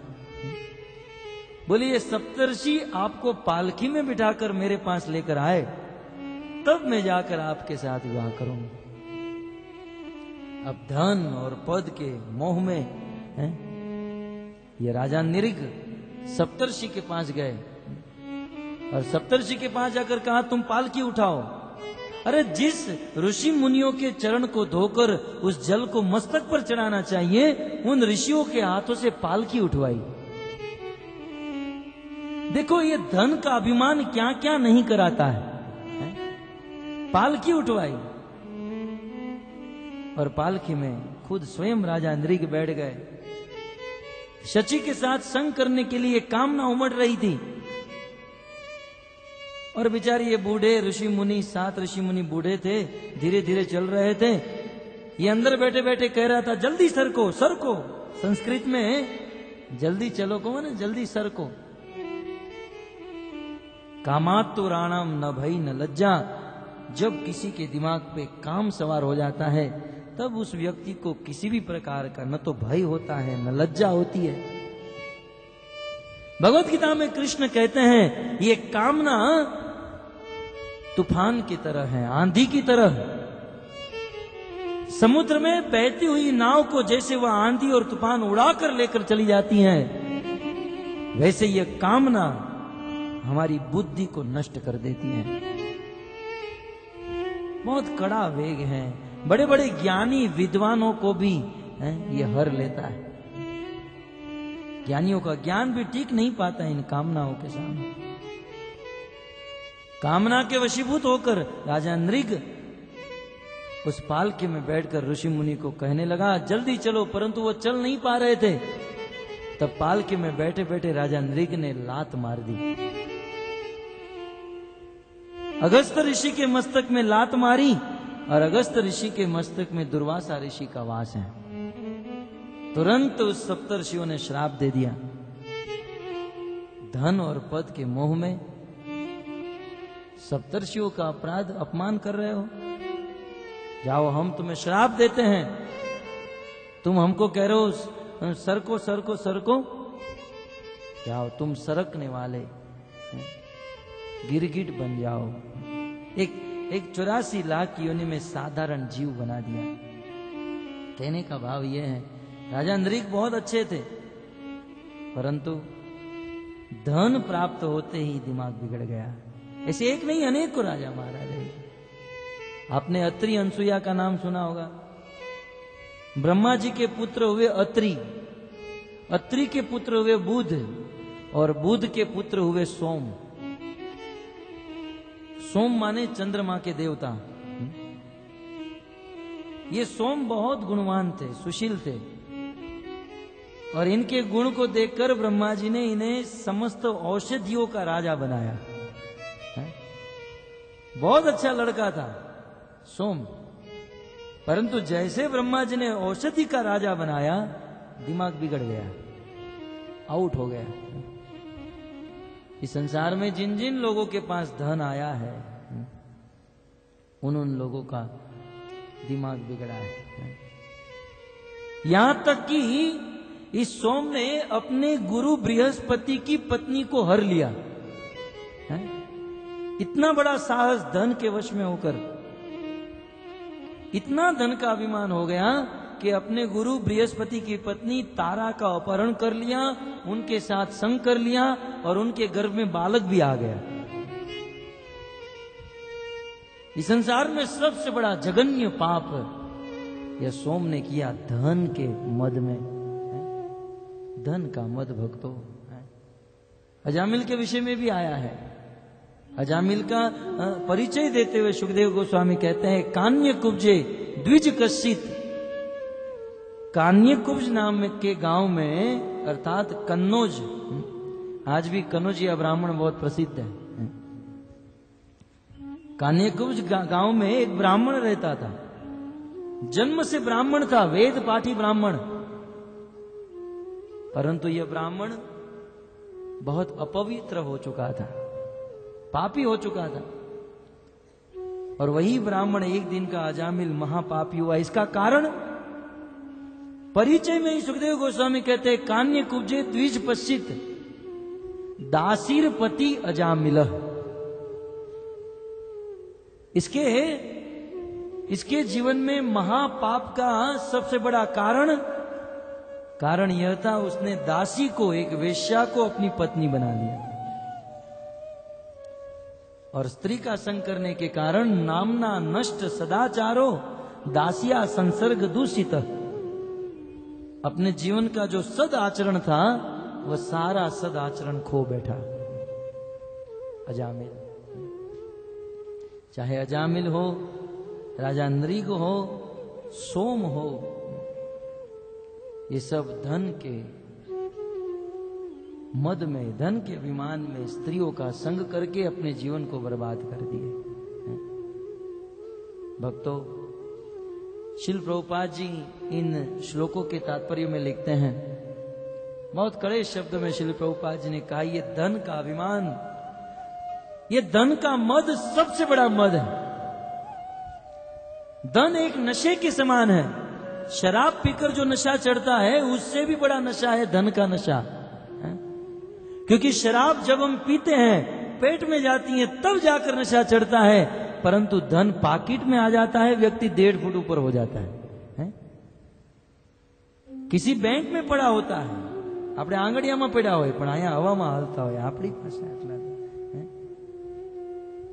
ये धन का नशा है बहुत कड़ा है ये धन धन की अधिष्ठात्री देवी लक्ष्मी है आप जानते हैं धन की अधिष्ठात्री देवी लक्ष्मी और लक्ष्मी का वाहन क्या है लक्ष्मी किसके ऊपर सवार होकर चलती हैं? उल्लू। कभी वृंदावन जाइए, वृंदावन के बिल्कुल निकट बेल वन है। जहाँ लक्ष्मी जी रहती हैं, उनके बहुत सारे वाहन लटकते हैं। लक्ष्मी जिस पर सवार होकर चलती हैं, वह वाहन है उल्लू। और एक संत ने तो बहुत सुंदर कहा, ये लक्ष्मी जो है, विष की बहन है। जिस समुद्र से लक्ष्मी का प्राकट्य हुआ, उसी समुद्र से विष का प्राकट्य दोनों साथ में प्रकट हुए। तो जिसके पास धन आता है, उसके साथ विष भी आता है। तो धन आते ही वो व्यक्ति मर जाना चाहिए। परंतु वो व्यक्ति मरता नहीं है, वो विष उस धनी को मारता नहीं है, बस उस धनी को अंधा और बहरा बना देता है। ये धन का प्रभाव। जिसके पास धन आ जाता है, उसकी दृष्टि नष्ट हो जाती है। दृष्टि नश्यते, वर्धते च बधिरता। दृष्टि नष्ट होने का अर्थ क्या है? फिर वह व्यक्ति देखता नहीं है कौन बड़ा, कौन छोटा। ये सब चीज़ नारद मुनि मन में सोच रहे हैं। धनी व्यक्ति को दिखाई नहीं देता है कि हमसे बड़ा है। वो तो जिसके पास ज़्यादा धन है, उसी को बड़ा मानते हैं। और जिसके पास कम धन है, उसको छोटा मानते हैं। कलयुग के वर्णन में काकभूषण जी गरुड़ जी को यही बात कहते हैं कि गरुड़, कलयुग में जिसके पास ज़्यादा धन होगा, फिर भले वो अपवित्र होंगे मांस खाएँगे, पाप करेंगे, परंतु जिसके पास ज़्यादा धन, वो ज़्यादा महान माने जाएँगे। ये कलयुग का दोष। तो इस प्रकार धन की अधिष्ठात्री देवी लक्ष्मी है और लक्ष्मी जिस पर सवार होकर चलती हैं वो है उल्लू। उल्लू के बारे में जानते हैं? उल्लू का सबसे पहला दोष समझिए गुण समझिए वो उल्टा लटकता है, है? सीधा नहीं रहता है। उल्लू जो है पाँव ऊपर सिर नीचे जिसके पास धन आ जाता है वो भी उल्टा हो जाता है। दुनिया से विरुद्ध चलता है शास्त्र से विरुद्ध। शास्त्र ये कहता है तो ये उसे ठुकरा कर बिल्कुल उल्टा ही चलेगा क्योंकि ये लक्ष्मी जिस पर सवार होकर चलती है, जन, धन जिस पर सवार होता है, वो उल्लू है और उल्लू की दूसरी महिमा, उल्लू दिन को नहीं देखता है, वो रात को देखता है? जिसके पास लक्ष्मी आ जाती है ना, वो भी दिन को नहीं देखता है, रात को देखता है? दिन को हम देखेंगे वो सोता हुआ रहेगा और रात को जगेगा बियर बार में जाने के लिए। ये है धन का दोष। धन एक नशे के समान है। और जिसके पास धन का अभिमान हो गया, नारद मुनि कहते हैं, यत्र स्त्री। वो किसी स्त्री की आसक्ति में निश्चित फंसेगा। फिर धन का दूसरा दोष बताते हुए कहते हैं, द्यूतम। आपके सामने श्लोक है, दिखाई दे रहा है ना? अंतिम शब्द, है? यत्र यत्र माने जिसको धन का अभिमान हो गया, वह स्त्री में फंसेगा। और फिर दूसरा है, द्यूत, द्युत माने नशा। जिसके पास धन है, वो अनेकों प्रकार के नशे में फंसेंगे। अनेकों प्रकार के। और उसमें से सबसे, द्यूत, क्षमा कीजिए, द्यूत माने जुआ। द्यूत माने जुआ, जिसके पास धन है, वे जुआ खेलेंगे, निश्चित। अब जिस, जिसके पास धन है ही नहीं, वो बेचारा क्या जुआ खेलेगा? धनी का सबसे बड़ा दोष जुआ। और धन का अभिमान हो जाने से तीसरी चीज़ कहते हैं आसव आसो माने नशा। और नशा में सबसे बड़ा नशा शराब का। जो ये लोग कर रहे थे। बोले, धन के अभिमान के कारण स्त्री, जुआ और अनेकों प्रकार के नशे में व्यक्ति फंस जाता है। और इस, इन अनेकों वस्तु में फंसकर मनुष्य जीवन को अपवित्र कर देता है। शिवाशिदर स्वामी कहते हैं, तदाह यत्र इत्यादि चतुर्भी बोले धन का अभिमान होने से इतने ही नहीं। अगले चार श्लोक में वर्णन करते हैं कि यदि किसी को धन का अभिमान हो गया तो वे क्या क्या कर सकता है। नौवे श्लोक में कहते हैं, हन्यते पशवो यत्र, निर्दये रजितात्म भी। जिसको धन का अभिमान हो गया, हन्यते किसी का आनंद करने में वह देरी नहीं करेगा। क्योंकि धन का अभिमान हृदय को कठोर कर देता है। हृदय को चित्त को हम्म, कठोर पत्थर की तरह बना देता है। फिर इस हृदय में दया नामक तत्व नहीं रहता है। और इतना निर्दय कर देता है इतना निर्दय कर देता है कि हन्यते पशवो पशुओं को मारकर उसे खा जाता है। आत्म भी अपने ही हाथों से लोगों का वध कर देते हैं। धन का अभिमान। मन्य माने इदम देहम जरा मृत्यु नश्वरम और अपनी इंद्रियों को तृप्त करने के लिए फिर मांसाहार करने लगते हैं। मांस खाकर, मदिरा पीकर अपनी इंद्रियों को तृप्त करते हैं। किस इंद्रियों को? इंद्रियों के विषय में आधे श्लोक में बताते हैं। जो इंद्रिया, जो शरीर एक ना एक दिन मरने वाला है यह मरण धर्मा शरीर को तृप्त करने के लिए इस मरण धर्मा शरीर को सुखी करने के लिए हृष्ट पृष्ठ रखने के लिए है, संसार के प्राणियों का जीवों का वध करके उसे खा जाते हैं। इतना ही नहीं जिनको धन का अभिमान होता है वे रात दिन अपने शरीर को ही सजाने में पड़े रहते हैं। परंतु उस अभिमानी व्यक्ति को पता नहीं कि यह शरीर आखिर किसी का नहीं है। बहुत सुंदर सिद्धांत देते हैं, देव संगी तम अप्यंते कृमि विड़ संग भस्मितम। जो शरीर एक ना एक दिन शमशान के लकड़े की राख हो जाएगा, जो शरीर एक दिन गिद्ध का भोजन हो जाएगा जो शरीर एक दिन ज़मीन में, पृथ्वी में रहने वाले छोटे छोटे कीड़ों का आहार बनने वाला है, उसी शरीर को सजाने के लिए रात दिन परिश्रम करता है। आखिर ये शरीर क्या है, भक्तों? बहुत सुंदर इस देह का निरूपण करते हुए कहते हैं, एक ना एक दिन राख होने वाला है। एक ना एक दिन राख होगा और वर्तमान में भी देखा जाए तो इसमें कोई बढ़िया चीज़ नहीं है। कप, पीत और वायु से यह शरीर बना हुआ है, जिसमें इस शरीर के शरीर के सभी अंगों को विश्लेषण किया जाए और देखा जाए तो इसमें क्या है? मांस है, मज्जा है, हड्डी है, बाल है, रक्त है, मल है, मूत्र है, गंदी वायु है। इसमें अच्छी चीज़ है क्या? परंतु ब्रह्मा जी ने इन्हीं वस्तु को एक चमड़े के अंदर रख दिया है और धनी लोग बस इसी चमड़े के, इसी गंदी वस्तु को चमड़े के द्वारा ढकी हुए इस शरीर को ही मैं मानते रहते हैं। और इस शरीर का स्वार्थ पूर्ण करने के लिए रात दिन मेहनत करते हैं। जो वास्तविक अपना स्वार्थ नहीं समझते हैं, वे नहीं जानते कि हम आत्मा है। शरीर को ही मैं मानते हैं। शिल प्रभुपाद जी एक बहुत सुंदर कहावत कहते थे कि एक बार एक राजा अपने राज्य में घोड़े के ऊपर सवार होकर घूम रहा था। उतने में उन्हें, उस राजा ने एक स्त्री को देखा। वह स्त्री बहुत सुंदर थी। राजा घोड़े से उतर गया और कहा, तुम कौन हो? तुम्हारा विवाह हो चुका है? उस स्त्री ने कहा, मेरा विवाह तो हो चुका है, परंतु मेरे पतिदेव इस संसार में नहीं रहे। मैं विधवा हूँ, जवानी में विधवा तब राजा ने कहा, मैं तुमसे विवाह करना चाहता हूँ। मैं तुमसे संग करना चाहता हूँ। उस स्त्री ने कहा एक काम करो, आप कल मेरे घर पर आइएगा।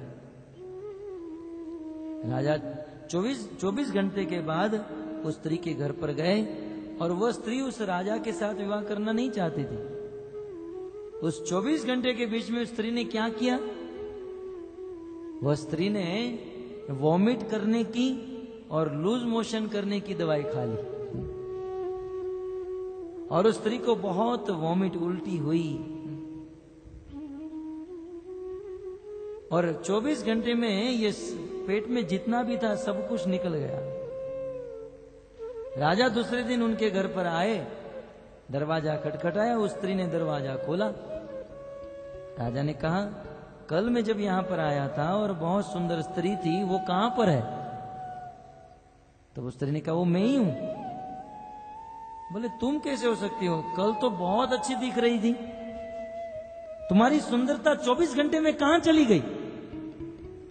उस स्त्री ने राजा को उनका हाथ पकड़कर अंदर के रूम में लेकर गई। बोले, राजन, तुम ये जानना चाहते हो 24 घंटे में मेरी सुंदरता कहाँ गई? तो उस अंदर कक्ष में उस स्त्री ने एक पात्र में वॉमिट उल्टी को भरकर रखा था। एक पात्र में मल, मूत्र, बाल, मज्जा? राजा को दिखाया, राजा, देखिए, ये मेरी सुंदरता है। राजा देखने की बात तो दूर रही, अपनी आँखें बंद करके वहाँ से बाहर निकल गए। कहने का तात्पर्य यह है, इस जगत में हम जिसको सुंदर स्त्री, सुंदर पुरुष, हम जिसको सुंदर सुंदर उपमा देते हैं, वास्तव में वो सुंदर नहीं है। बस अज्ञान के कारण हम उस वस्तु को सुंदर मान बैठे, बैठते हैं और रात दिन उसी में रचे पचे रहते हैं। और इसका कारण क्या है? कहते हैं, ऐसी सुंदरता के पीछे वे लोग बहुत भागा करते हैं, जिसको धन का अभिमान है। और इस सुंदरता के पीछे इतने लोभित हो जाते हैं कि मान बैठते कि ये मेरा है, ये मेरी है। नारद जी कहते हैं आखिर ये शरीर है किसका? जन्म देने वाली माँ कहती है कि ये मेरा पुत्र है। जिस हॉस्पिटल में जन्म हुआ है वह डॉक्टर कहते हैं ये मेरा मरीज़ है, है? कितने लोग मेरा मेरा करते हैं? जन्म देने वाली माँ कहती है मेरा है। डॉक्टर कहते हैं मेरा है। पिता कहते हैं मेरा पुत्र है। समाज कहता है ये हमारा आदमी है। भाई कहता है, ये मेरा भाई, बहन कहती है, मेरा है। तब जाकर पत्नी आती है और पत्नी कहती है, मेरा पति सिर्फ़ मेरा आप लोगों का नहीं, है? पत्नी कहती है, मेरा है। जिस ऑफ़िस में काम करता है, वो ऑफ़िस का मालिक कहता है, ये मेरा आदमी है। पुत्र कहते ये मेरा पिता है।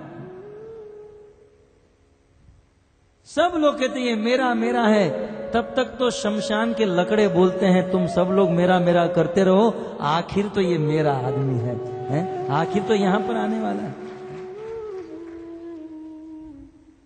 आखिर जब यह देह राख हो जाने वाला है तब इसे मेरा मेरा मेरा कहने से क्या फ़ायदा है? नारद जी बताते हैं देह किम न दातुम स्वम निषेक्तु मातुर एवच मातुर पितुर्वा वनित। क्रेतुर अग्ने सुचार पिवा आज तक संसार के जीव यह जान नहीं पाए कि यह देह किसका है। परंतु इस देह के बारे में पूर्ण पूर्ण ज्ञान प्राप्त कर लेना चाहिए। और देह के बारे में ज्ञान प्राप्त करके जीवन में किस बात को धारण करना चाहिए, किस निष्कर्ष पर आना चाहिए, नारद मुनि बारहवें श्लोक में मन ही मन में अपने मन को कहते हैं एवं साधारणम देहम अव्यक्त प्रभुवात्मयम को विद्वान आत्म दशा कृत्वा यंती जंतु नृत्य सतह यह देह वास्तव में देखा जाए तो भगवान की शक्ति है। यह देह भगवान के द्वारा मिला है और भगवान को ही प्राप्त होने वाला है। यह देह जहाँ से आया है, वहीं पर जाने वाला है। भक्तों, हमारे शरीर में दो वस्तु हैं। एक तो यह शरीर और एक आत्मा। आत्मा भी भगवान की है और शरीर भी भगवान का है। क्योंकि यह शरीर पंच महाभूत से बना है और भगवान ने ही पंच महाभूत का निर्माण किया है। वास्तविक तत्व की बात यह है कि यह देह भगवान का है। अतः यह देह भगवान का होने के कारण इस देह से भगवान की सेवा करना यह देह का सबसे बड़ा धर्म है। और आत्मा के विषय में यदि विचार किया जाए तो आत्मा भी भगवान का अंश है। ममे वांश जीव लोके जीव भूत सनातन। ये आत्मा परमात्मा का अंश है, और आत्मा परमात्मा का अंश होने के नाते आत्मा का सबसे बड़ा धर्म है, परमात्मा की सेवा की जाए। कई बार संसार में लोग प्रश्न उठाते हैं कि कौन से धर्म का पालन करें? क्योंकि संसार में अनेकों प्रकार के धर्म है मातृ धर्म पितृ धर्म समाज धर्म, देश धर्म, है? भक्तों, इस संसार में ये जितने भी छोटे मोटे धर्म हैं, ये सारे धर्म हमारे शरीर से जुड़े हुए हैं। परंतु तत्व की बात यह है, हम ये शरीर नहीं, हम आत्मा है। और आत्मा का सबसे बड़ा धर्म सवे पुंसा परो धर्म, परम धर्म यदि कोई है तो है यतोर भक्ति अधोक्षज। अधोक्षज भगवान श्री कृष्ण की भक्ति करना। तो इस प्रकार शरीर के विज्ञान को जानकर, अपने जीवन को सत मार्ग की ओर लेकर जाना चाहिए। फिर भी इस संसार में कुछ लोग पशुओं का वध करते हैं, प्राणियों को मारते हैं। जो लोग प्राणियों को, पशुओं को मारते हैं, उनके लिए सबसे बड़ी औषधि क्या है? नारद मुनि तेरहवें श्लोक में कहते हैं, इस संसार में जो लोग पाप करते हैं, उस पापियों के लिए सबसे बड़ी दवाई क्या है? नारद जी कहते हैं, असत श्रीमदानदस्य दारिद्र्यम परम परम अंजनम। पापियों के लिए है सबसे बड़ी औषधि दरिद्रता है। जो लोग बहुत बहुत पाप करते हैं, उन पापियों को पाप से मुक्त करने के लिए सबसे बड़ी दवाई क्या है? दरिद्रता, गरीबी। क्योंकि गरीबी एक ऐसी वस्तु है आत्म औपत्य भूतानी दरिद्र परम इक्षते दरिद्रता, है, गरीबी एक ऐसी वस्तु है जिस गरीबी अवस्था में व्यक्ति चाहकर भी पाप नहीं कर सकता है। नारद जी बहुत सुंदर बात बताते हैं।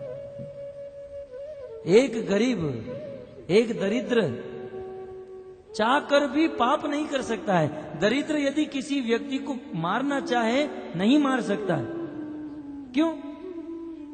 क्योंकि नारद जी सिद्धांत दे रहे हैं, चौदहवें श्लोक में, यथा कंटक विद्वांगो जनतो नैचंती ताम यथाम। दृष्टांत के द्वारा नारद मुनि बताते हैं कि यदि किसी व्यक्ति को जंगल के माध्यम से, जंगल के रास्ते पर चलने से किसी को कांटा लग जाए, बहुत लंबा, बड़ा कांटा किसी के पाँव में आर पार हो जाए, जिस व्यक्ति के पाँव में कांटा लगा है, वो व्यक्ति कभी भी किसी को कांटा मार नहीं सकता है। क्योंकि खुद कांटे लगने का दर्द जानता है। कांटा लगने से कितना दुख और दर्द होता है, वे खुद जानता है। खुद को इस दुख का एहसास है। अतः वे किसी को कांटा मार नहीं सकता है। ठीक उसी प्रकार, एक दरिद्र गरीबी के कारण अपने जीवन में दुखी होते रहता है।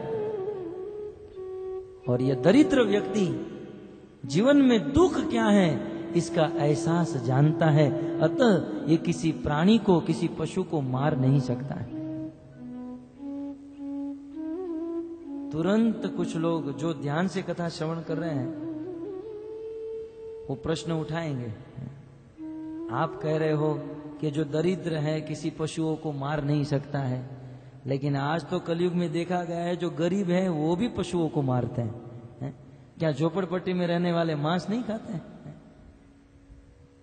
तो यहाँ पर एक सिद्धांत और जोड़ दीजिए कि जो दरिद्र है, लेकिन साथ ही साथ अपने आप को मन में दरिद्र मानना चाहिए, है? जो अपने आप को दरिद्र मानता है, वो पाप नहीं कर सकता है फिर वह दरिद्र हो या धनी हो, यदि किसी के पास करोड़ों रुपये हैं, लेकिन फिर भी वह अपने आप को दरिद्र मानता है तो वो पाप करने से बच सकता है। नारद जी अब दरिद्र होने की महिमा बताते हैं। इस संसार में जो लोग दरिद्र है गरीब है निश्चित उन पर भगवान की असीम कृपा है। क्योंकि दरिद्र व्यक्ति को हाँ, बिना प्रयास किए मुक्ति की प्राप्ति हो जाती है। दरिद्र व्यक्ति ही पाप करने से भी बच जाता है और दरिद्र व्यक्ति पाप से तो बच ही जाता है, साथ ही साथ वह मुक्ति का भाजन भी हो जाता है। तब तो मन में एक ही विचार होता है, भगवान हमको दरिद्र बनाए और इसके आदर्श देवी कुंती। कुरुक्षेत्र की भूमि में उनके पाँचों पुत्र जब विजय हो गए और कृष्ण ने पूछा, देवी कुंती, मांगो क्या चाहिए? देवी कुंती ने कहा, ये जो हम लोग जीते हैं ना, हस्तिनापुर के राजा बने हैं, हमको राजा नहीं बनना है। कृष्ण, विपत संतु न शश्वत, तत्र तत्र जगत गुरु हमको दुख चाहिए। कृष्ण, हमें धनी नहीं बनना है, हमें दरिद्र बनना है। क्यों? उस समय देवी कुंती ने यही सिद्धांत कहा जन्म ऐश्वर्य श्रुति श्रीभी येद मान मद पुमान नैवा हत्यमि धातुम वे, त्वाम अकिंचन गोचर, कृष्ण इस संसार में, जिसके पास बहुत धन होता है, जिसका बड़े कुल में जन्म होता है, जिसके पास बहुत विद्या होती है, और जो बहुत बड़े पद पर होता है ना, वह कभी तुम्हारी भक्ति नहीं कर सकता। चाह कर भी तुम्हारे चरणों में नहीं आ सकता है, क्योंकि इन वस्तुओं का अभिमान बहुत बुरा है। अतः हे कृष्ण धन कोई बुरी चीज़ नहीं है, है? ये मान प्रतिष्ठा ये पद कोई बुरी चीज़ नहीं है। लेकिन धन का अभिमान हो जाना ये बुरी चीज़ है। पद का अभिमान हो जाना ये बुरी चीज़ नहीं तो धन अम्बरीश महाराज के पास भी था है ना? कुछ दिन पहले आपने कथा सुनी थी महाराज अम्बरीश पूरी दुनिया के राजा थे। धन था परंतु धन का अभिमान नहीं था। ये जो कथा हो रही है धनाभिमानी लोगों के लिए हो रही है। जिन लोगों को धन का अभिमान है। धन का अभिमान हो जाए और धन का अभिमान हो ही जाता है। कितने भी बचने का प्रयास करो। धन वस्तु ऐसी है, आ ही जाता है। परम पूज्य राधा गोविंद गोस्वामी महाराज एक बार कह रहे थे, राजा रहुगण जो शोभिर देश के राजा थे, सौराष्ट्र के राजा। उनके हृदय में वैराग्य हुआ। अपना राजपाट सब कुछ छोड़ दिए और गंगा सागर जा रहे थे। पालकी में सवार होकर वैराग्य लेकर गंगा सागर जा रहे थे। उस समय उनकी पालकी में एक पालकी उठाने वाला कहार बीमार हो गया। तो तीन पालकी उठाने वाले कहार कहीं खेत में किसी को ढूँढने गए तो जड़ भरत जी दिखाई दिए। और चौथे कहार के रूप में जड़ भरत जी को पालकी उठाने के लिए लगा दिया। ये लोग चल रहे थे। रास्ते में, जंगल के रास्ते में थोड़ी चीटियाँ आ रही थी। जड़ भरत जी भगवान के परम भक्त थे। वह किसी जीव जंतु को मार नहीं सकते थे। तो जैसे ही रास्ते में चीटियाँ आई, जड़ भरत सिंह कूद गए।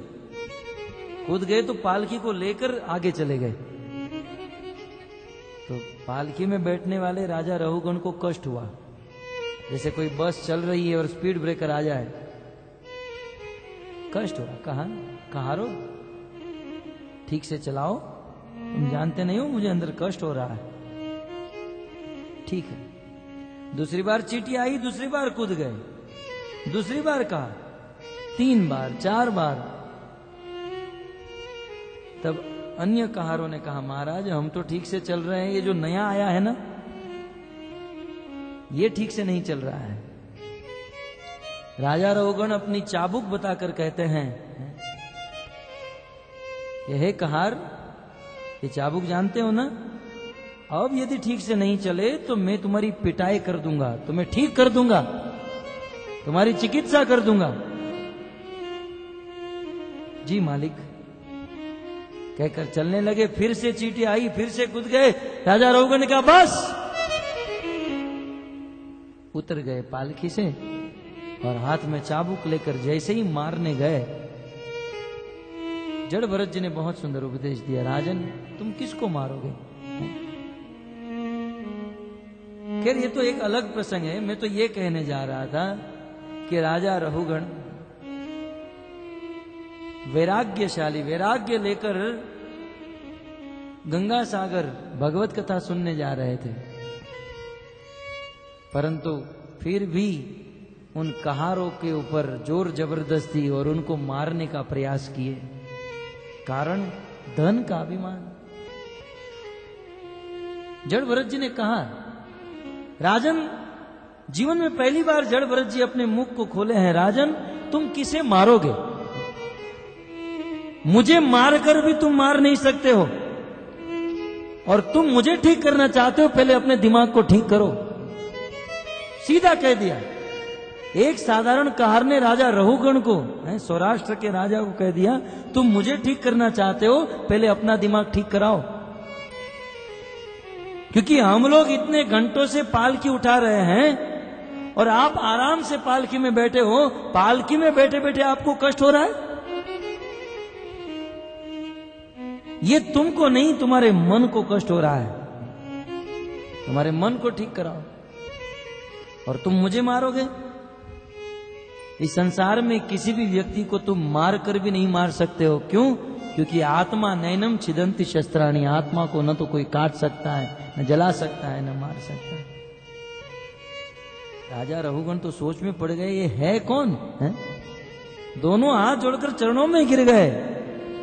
आप साक्षात भगवान तो नहीं, जल्दी जल्दी बताओ तुम कौन हो? उस तो समय ऐलान करते हुए कहा, नाहम विशंक के सुरराज वज्रात, न त्रिशूलात्म यमस्य दंडात। मैं शिव जी के त्रिशूल से नहीं डरता हूँ। मैं यमराज के दंड से नहीं डरता हूँ, न अग्नि, अर्क, सोम, विमल, विपत शस्त्रात न तो मैं अग्नि से डरता हूँ, न सूर्य से, न सोम से मैं किसी से नहीं डरता हूँ। यदि मेरे जीवन में मैं डरता हूँ तो वैष्णव अपराध से डरता हूँ।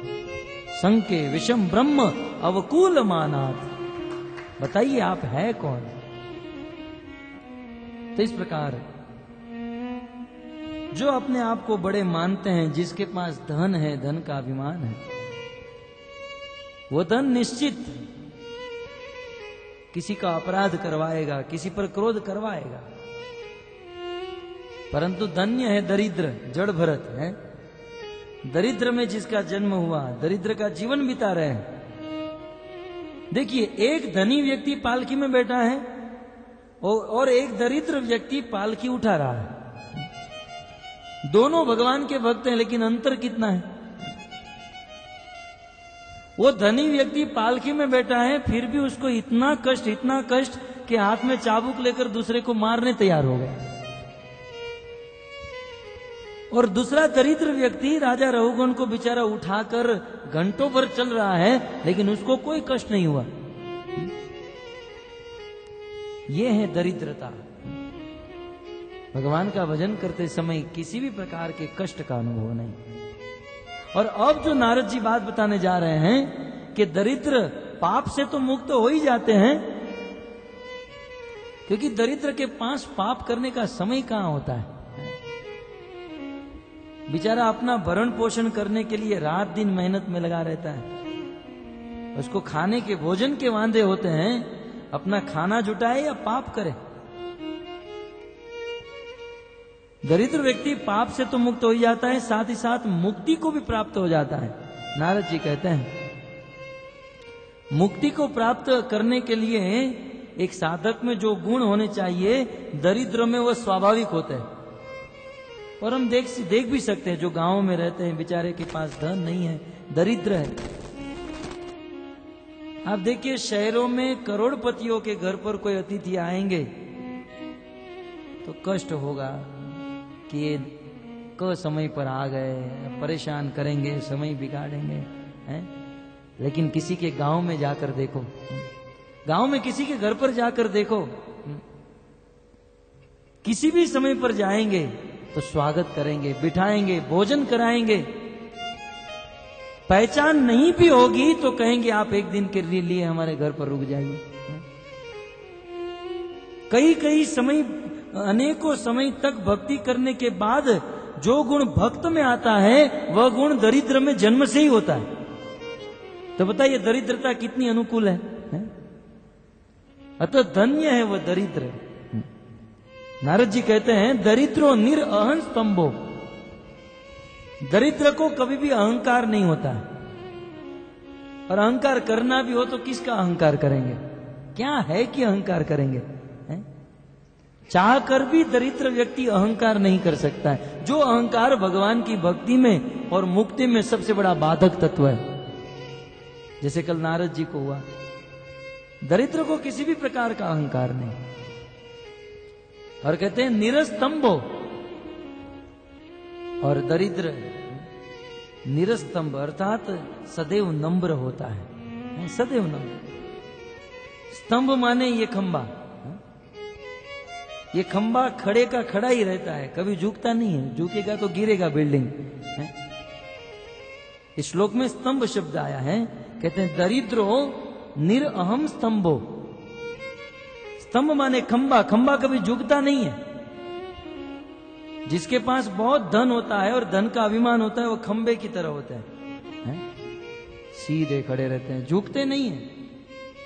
परंतु दरिद्र निर अस्तंभो दरिद्र में यह दोष नहीं दरिद्र स्वाभाविक झुका हुआ होता है स्वाभाविक उनके हृदय में नम्रता होती है और नम्रता तो भक्ति का आभूषण है, है? भक्ति का सबसे अच्छा श्रृंगार भक्ति का गहना क्या है, है? भक्ति महारानी के वस्त्र हैं? इत्यादि अनेक अनेक वस्तुएँ हैं परंतु भक्ति महारानी का श्रृंगार नम्रता है कितना भी बड़ा भक्त हो, परंतु नम्रता न हो तो भक्त पूर्ण नहीं माना जाता है। तो बहुत समय तक भक्ति करने के बाद जो नम्रता आती है वह नम्रता दरिद्र में पहले से ही होती है। अतः दरिद्रो निरअन स्तंभो मुक्त सर्व मदेरिह और सभी प्रकार के मद से, अभिमान से दरिद्र मुक्त होता है। कृच्छम यद इच्छ आपनोति तद्विधि तस्य परम तप। और दरिद्र व्यक्ति बहुत बड़ी तपस्या करता है। तपस्या तो जंगलों में साधु महात्मा भी करते हैं।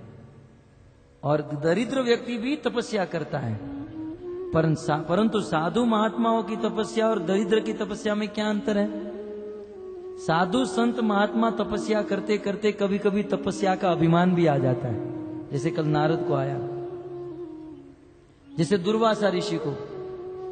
अपनी तपस्या का इतना अभिमान। तो इस प्रकार दरिद्र व्यक्ति अनकाक्षिण किसी भी प्रकार की इच्छा नहीं। और इंद्रिया अनुसुष्यंती बहुत सुंदर बात। आजकल के अमीर लोग अपनी इंद्रियों को सुखाने के लिए कितना प्रयास कर रहे हैं। कल मैं एक पेपर के ऊपर भोजन कर रहा था तो उसमें लिखा था, अपनी कमर आठ आठ इंच, आठ दिन में घटाइए। अस्सी हज़ार रुपया। और एडवर्टाइजमेंट लिखा हुआ है। अमीर लोग अपना शरीर कम करने के लिए, वज़न कम करने के लिए कितना प्रयास, लेकिन होता नहीं है। आप देखोगे कुछ लोगों के पास जाओगे तो बस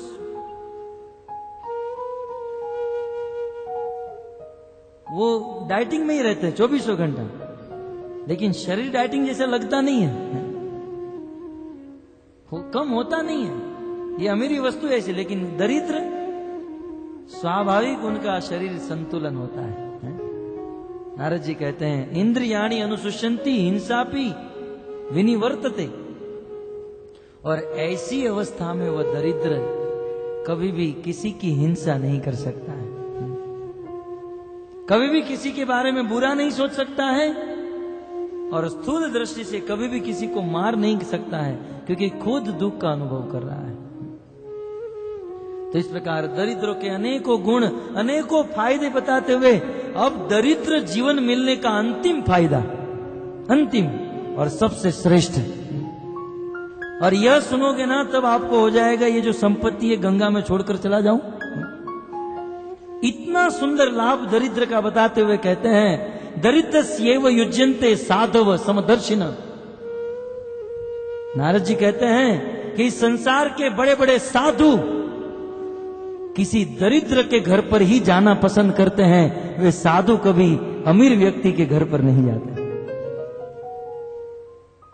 दरिद्र सेव युजंते साधु दरिद्रों के घर पर ही जाते हैं। और इसके ज्वलंत प्रमाण चैतन्य महाप्रभु। चैतन्य महाप्रभु कभी भी किसी धनी व्यक्ति के घर पर नहीं जाते थे। धनी व्यक्तियों के साथ नहीं रहते थे। एक बार चैतन्य महाप्रभु के बहुत बड़े भक्त थे और उस समय के बंगाल के राजा थे, प्रताप रुद्र।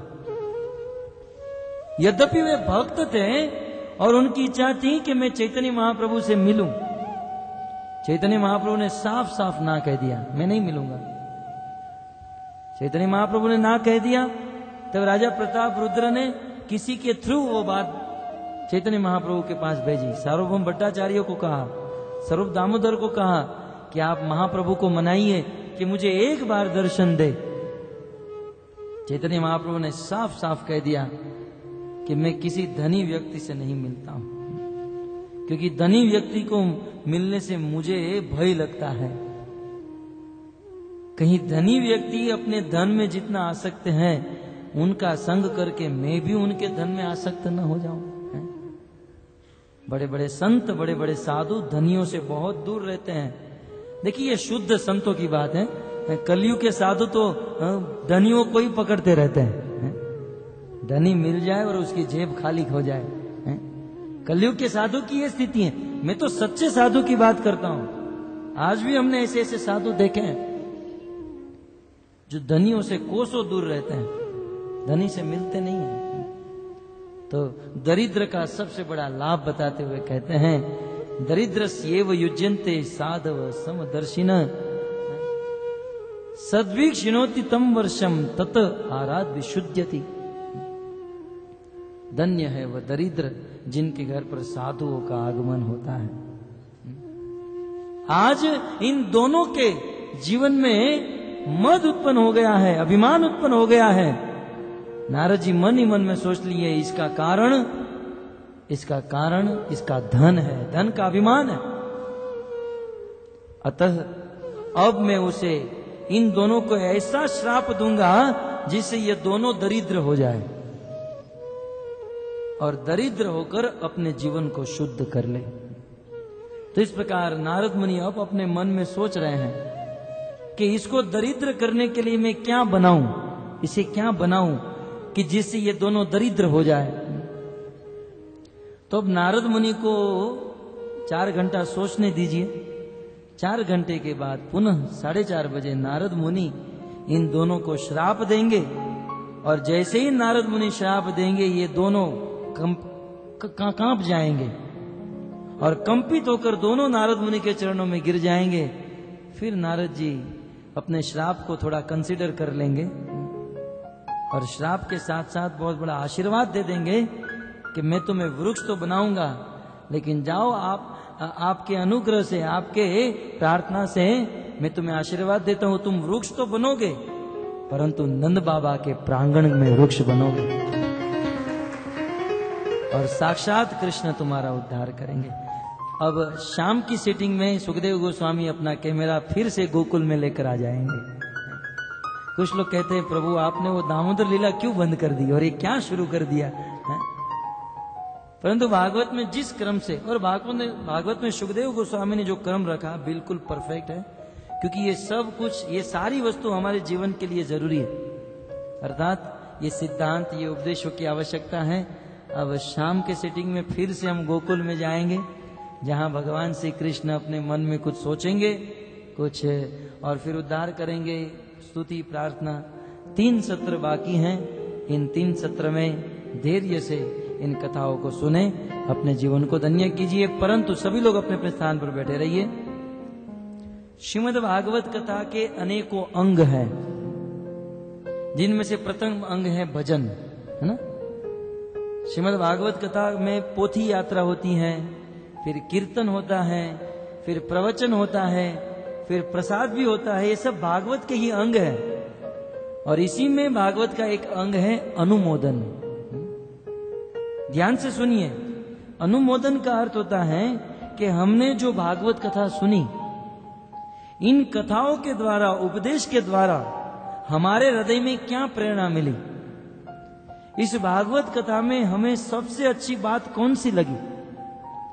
और इस भागवत कथा को सुनकर मैं मेरे जीवन में क्या संकल्प लेने जा रहा हूँ? मेरे जीवन में क्या परिवर्तन आया? ये सारी बात श्रोताओं के बीच में उपस्थित करनी चाहिए। इससे क्या होता है? अकेला वक्ता मात्र अपने अकेले भाव से श्रोताओं को कृतार्थ नहीं कर सकता है। अतः श्रोताओं को भी फ्रंट में आकर स्टेज पर आकर एक एक करके अपना अनुभव, अपना भाव व्यक्त करना होता है कि जो भाव सबके हृदय में स्थित हो और सबके हृदय में भगवान की भक्ति नाचने लगे। तो हम आज से अनुमोदन विधि प्रारंभ करने जा रहे हैं। जिन जिन भक्तों को अपना अनुमोदन करना हो, अपना भाव, अपनी खुशी, अपनी प्रशंसा व्यक्त करनी हो तो अपना नाम लक्ष्मीधर प्रभु से लिखा सकते हैं। और एक एक करके आपको यहाँ पर बुलाया जाएगा। लेकिन ये अनुमोदन कार्यक्रम प्रारंभ सर्वज्ञ कृष्ण प्रभु से करना चाहता हूँ। सर्वज्ञ कृष्ण प्रभु यहाँ पर आए और अपना प्रथम अनुमोदन सभी श्रोताओं के बीच में प्रस्तुत करें। सर्वज्ञ कृष्ण प्रभु, श्री राधा गिरधारी मंदिर के वरिष्ठ भक्त हैं और अनेकों वर्षों तक श्री राधा गिरधारी मंदिर में उन्होंने सेवा प्रदान की। जो बुक डिस्ट्रीब्यूशन राधा गिरधारी मंदिर के संकीर्तन डिपार्टमेंट की सेवा करते थे, और अब वे लगभग अस्सी प्रतिशत वृंदावन में अपना वास कर चुके हैं, ब्रजवासी बन चुके हैं, लेकिन फिर भी हम जैसे बच्चों पर वे कृपा करते रहते हैं, और उन्हीं की कृपा से हम यहाँ पर भागवत कथा करने के लिए समर्थ होते हैं। आइए इनका स्वागत करते हैं महामंत्र से। हरे कृष्णा।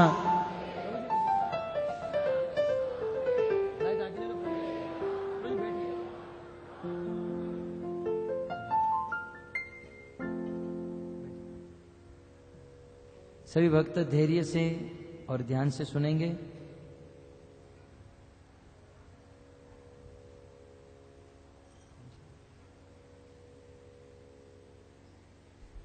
हरे कृष्णा।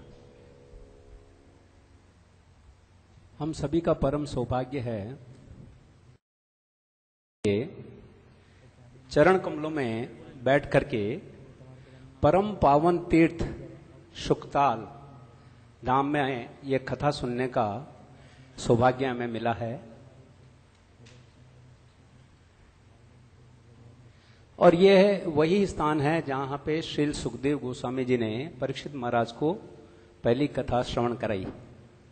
तो ये बहुत अपने आप में हमारा सौभाग्य है कि हम सब यहाँ इकट्ठे हुए हैं। और विशेष करके भगवान कृष्ण की बाल लीलाओं को हम श्रवण कर रहे हैं। और उसमें तो जो दामोदर लीला जो प्रभु जी ने टॉपिक लिया है, भागवतम का, बहुत ही सुंदर लीला प्रभु जी ने बहुत सुंदर तरीके से आचार्यों के, टीकाओं के द्वारा और अलग अलग ढंग से समझाने का हमें प्रयास किया। जो लीलाएँ हमारे सुनने से हमारे हृदय स्पर्शी है, मन को लुभाने वाली, मन को आनंद प्रदान करने वाली, हृदय स्पर्शी लीला सुनने को मिली।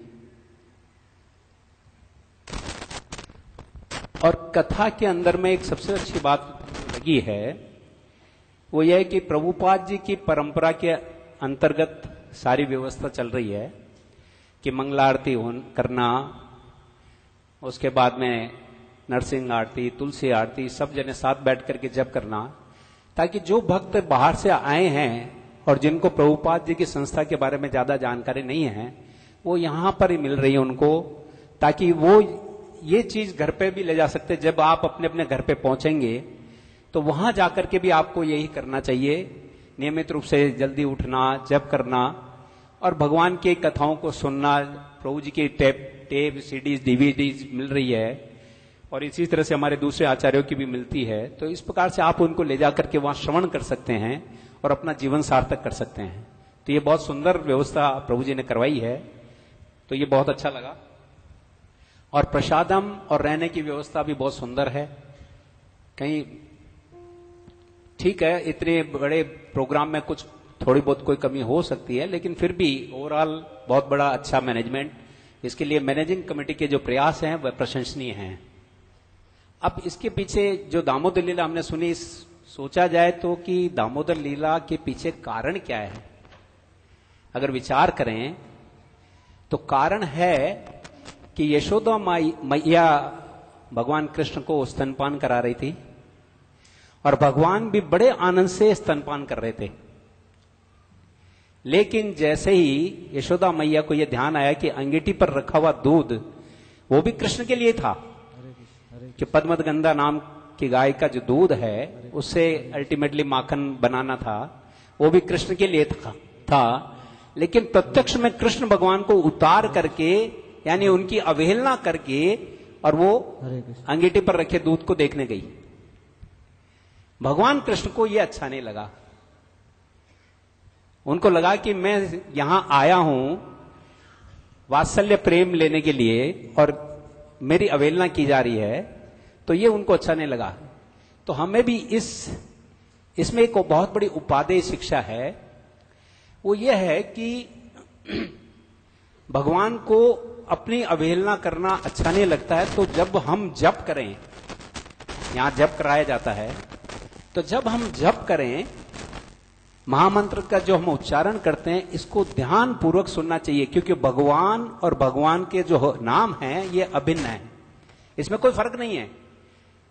जैसे हम जब जब करते हैं, हरे कृष्ण हरे कृष्ण कृष्ण कृष्ण, हरे हरे हरे राम हरे राम राम राम, हरे हरे, ये जब हम जब करते हैं, इसको बहुत सुंदर, बहुत अच्छे तरीके से इसको ध्यान से कांजों से सुनना चाहिए। और प्रभुपाद जी ने इस विषय में दो बात कही है। Don't do anything while chanting जब आप चैंटिंग करते हैं, तब आपको कुछ और दूसरी एक्टिविटी कुछ नहीं करना है। यानी कि मोबाइल फ़ोन भी स्विच ऑफ़ करके रखना है। ऐसा नहीं कि जब कर रहे हैं और किसी का मोबाइल आ गया या कुछ काम याद आ गया तो हम मोबाइल कर रहे हैं। तो don't do anything don't do any activities except chanting जब करते समय केवल हमें जब पर ध्यान देना है और कोई काम नहीं करना है। दूसरा don't think anything except chanting मन, जैसे मुझे अभी बता रहे थे कि मन में विचारों, मन में विचारों की नदी है। कई प्रकार के विचार, संकल्प, विकल्प उठते रहते हैं, चलते रहते हैं। मन, हमारे हाथ में तो माला घूम रही है, लेकिन मन कहीं दूसरी जगह घूम रहा है। तो ये जो है, हरिनाम के प्रति अपराध बनता है, और भगवान को अपराध पसंद नहीं है। जैसा कि ये दामोदर लीला से पता लगा कि दामोदर लीला में माता यशोदा ने कृष्ण को उतार के, बिठा के रख दिया, दूध स्तनपान बंद कराया तो भगवान को अच्छा नहीं लगा। इसी तरह से जब जब हम करते हैं तो ये भी भगवान का नाम भगवान से अभिन्न है। तो हमारा मन केवल जब करते समय केवल उसी पर ही कंसेंट्रेट करना है, ताकि हमारे से नाम अपराध नहीं हो। अगर नाम अपराध से हम बचे रहेंगे तो हमें, जैसा कि आपको बताया, दस नाम अपराध हम रोज पढ़ते हैं, दसवां नाम अपराध क्या है? भगवान के नाम को ध्यानपूर्वक जब करना। ताकि हमें अभिष्ट सिद्धि प्राप्त हो, जो कि है श्री कृष्ण प्रेम। तो हमें श्री कृष्ण प्रेम को अगर पाना है तो हमें जब पर बहुत अच्छी तरह ध्यान देना पड़ेगा। अगर जब पे ध्यान नहीं दिया, अगर हम अपराध करेंगे तो हरिनाम अपराध होगा और हमें नाम अपराध होने से हमारे से कृष्ण प्रेम उतना ही दूर चला जाएगा जितना कि पहले था। अगर लाख लाख साल भी अगर हम जब करते रहेंगे और अपराध के सहित अगर जब होगा तो कृष्ण प्रेम उतना ही दूर है। तो ये बहुत ध्यान देने वाली बात है इस लीला से कि भगवान को भगवान को अवहेलना पसंद नहीं है। इसी प्रकार से नाम जप करते समय केवल हमें जप करना है।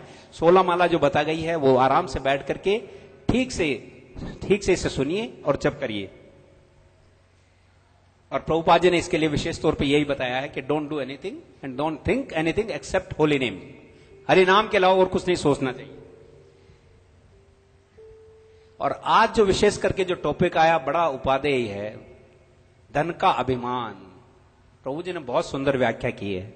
नाना प्रकार से जो व्याख्या की है, वाकई में ये हम सब लोगों के लिए है। नारद जी जो मन में विचार नारद जी सोच रहे हैं, इसको प्रभु जी ने बहुत अच्छी तरह से इसको बताया। तो ये सबके लिए शिक्षा है। तो बाकी सब अपने मन में जरा विचार कर लीजिए कि किस प्रकार से हमें मिथ्या अभिमान से दूर रहना है, पद प्रतिष्ठा के अभिमान से दूर रहना है, धन के अभिमान से दूर रहना है, क्योंकि सब कुछ दिया हुआ ठाकुर जी का है। सब कुछ ठाकुर जी का दिया है, ठाकुर जी की सेवा में आप लगा सकते हैं इसे प्रेम से, किसी भी प्रकार से सेवा में लगाइए। भागवत कथा सप्ताह करा करके लगा सकते हैं, वैष्णव के प्रसाद की सेवा में लगा सकते हैं, मंदिर निर्माण में लगा सकते हैं तो इस प्रकार से इसका उपयोग कर सकते हैं। तो तो हमारा जीवन सार्थक होगा। हरे कृष्णा, इतना ही कहकर के मैं अपने वाणी को विराम देता हूँ। और लालगोंद प्रभु का फिर से हम आभार प्रकट करते हैं अभिवादन करते हैं एक बार हरे कृष्ण मंत्र बोल करके हरे कृष्ण हरे कृष्ण कृष्ण कृष्ण हरे हरे हरे राम हरे राम राम राम हरे हरे। हरे कृष्ण प्रभु जी बहुत बहुत धन्यवाद। आशीर्वाद भी देते जाइए। हरे कृष्ण। प्रभुपा जी का और महाराज जी का आशीर्वाद। देखिए महाराज जी एकदम प्रसन्न मुद्रा में है। तो महाराज जी का आशीर्वाद है यही चाहिए हमें। हरे कृष्ण। हरे कृष्णा। अभी मैं निवेदन करता हूँ श्री मधुचंदा प्रभु जो हरिद्वार से हैं कृपया स्टेज के पास आए और अपना अनुमोदन प्रस्तुत करें। मधुचंदा प्रभु। मधुचंद प्रभु हरिद्वार में ही रहते हैं। ये भी धामवासी हैं। और कुछ समय पहले हिमालय की तलेटी में गढ़वाल में हमारी भागवत कथा का आयोजन करवाया था। अनेक लोगों ने इनका लाभ लिया था। आइए मधुचंद प्रभु का हम स्वागत करते हैं। गोपाल कृष्ण महाराज के शिष्य हैं, परम शुद्ध भक्त हैं। हरे कृष्णा हरे कृष्णा कृष्णा कृष्णा, हरे हरे। हरे राम हरे राम राम राम, हरे।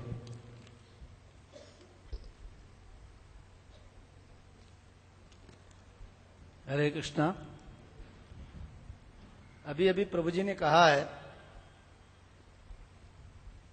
हम लोगों का परम सौभाग्य है। हम लोग इतने सौभाग्यशाली हैं, जिनको एक भागवत कथा मृत पान करने का वो मिला है। जो कथा मृत देवताओं को आज तक सुलभ नहीं हुआ है। इंद्र चंद्र सूर्य आदि देवताओं को जो सुलभ नहीं हुआ, वो आज तक वो हमें आज इधर, हमें इस सब सात, पिछले पाँच दिनों से वो सुलभ हो रहा है। बताइए, इतने भाग्यशाली कौन होंगे? परीक्षित जी ने सिर्फ़ एक ही बार कथा सुनी थी और वो इधर ही से सीधे बैकुंठ धाम चले गए। यहाँ से डायरेक्ट रोड जाती है कहा? भगवान के बैकुंठ धाम में, भगवान के गोलोक धाम में। सीधी बिल्कुल शॉर्टकट है। अर्थ क्या है इसका? ये कि हम लोगों को इस भा, एक नहीं, कई कथा सुनते हैं हम लोग। हम लोगों को इन कथाओं को पीना चाहिए।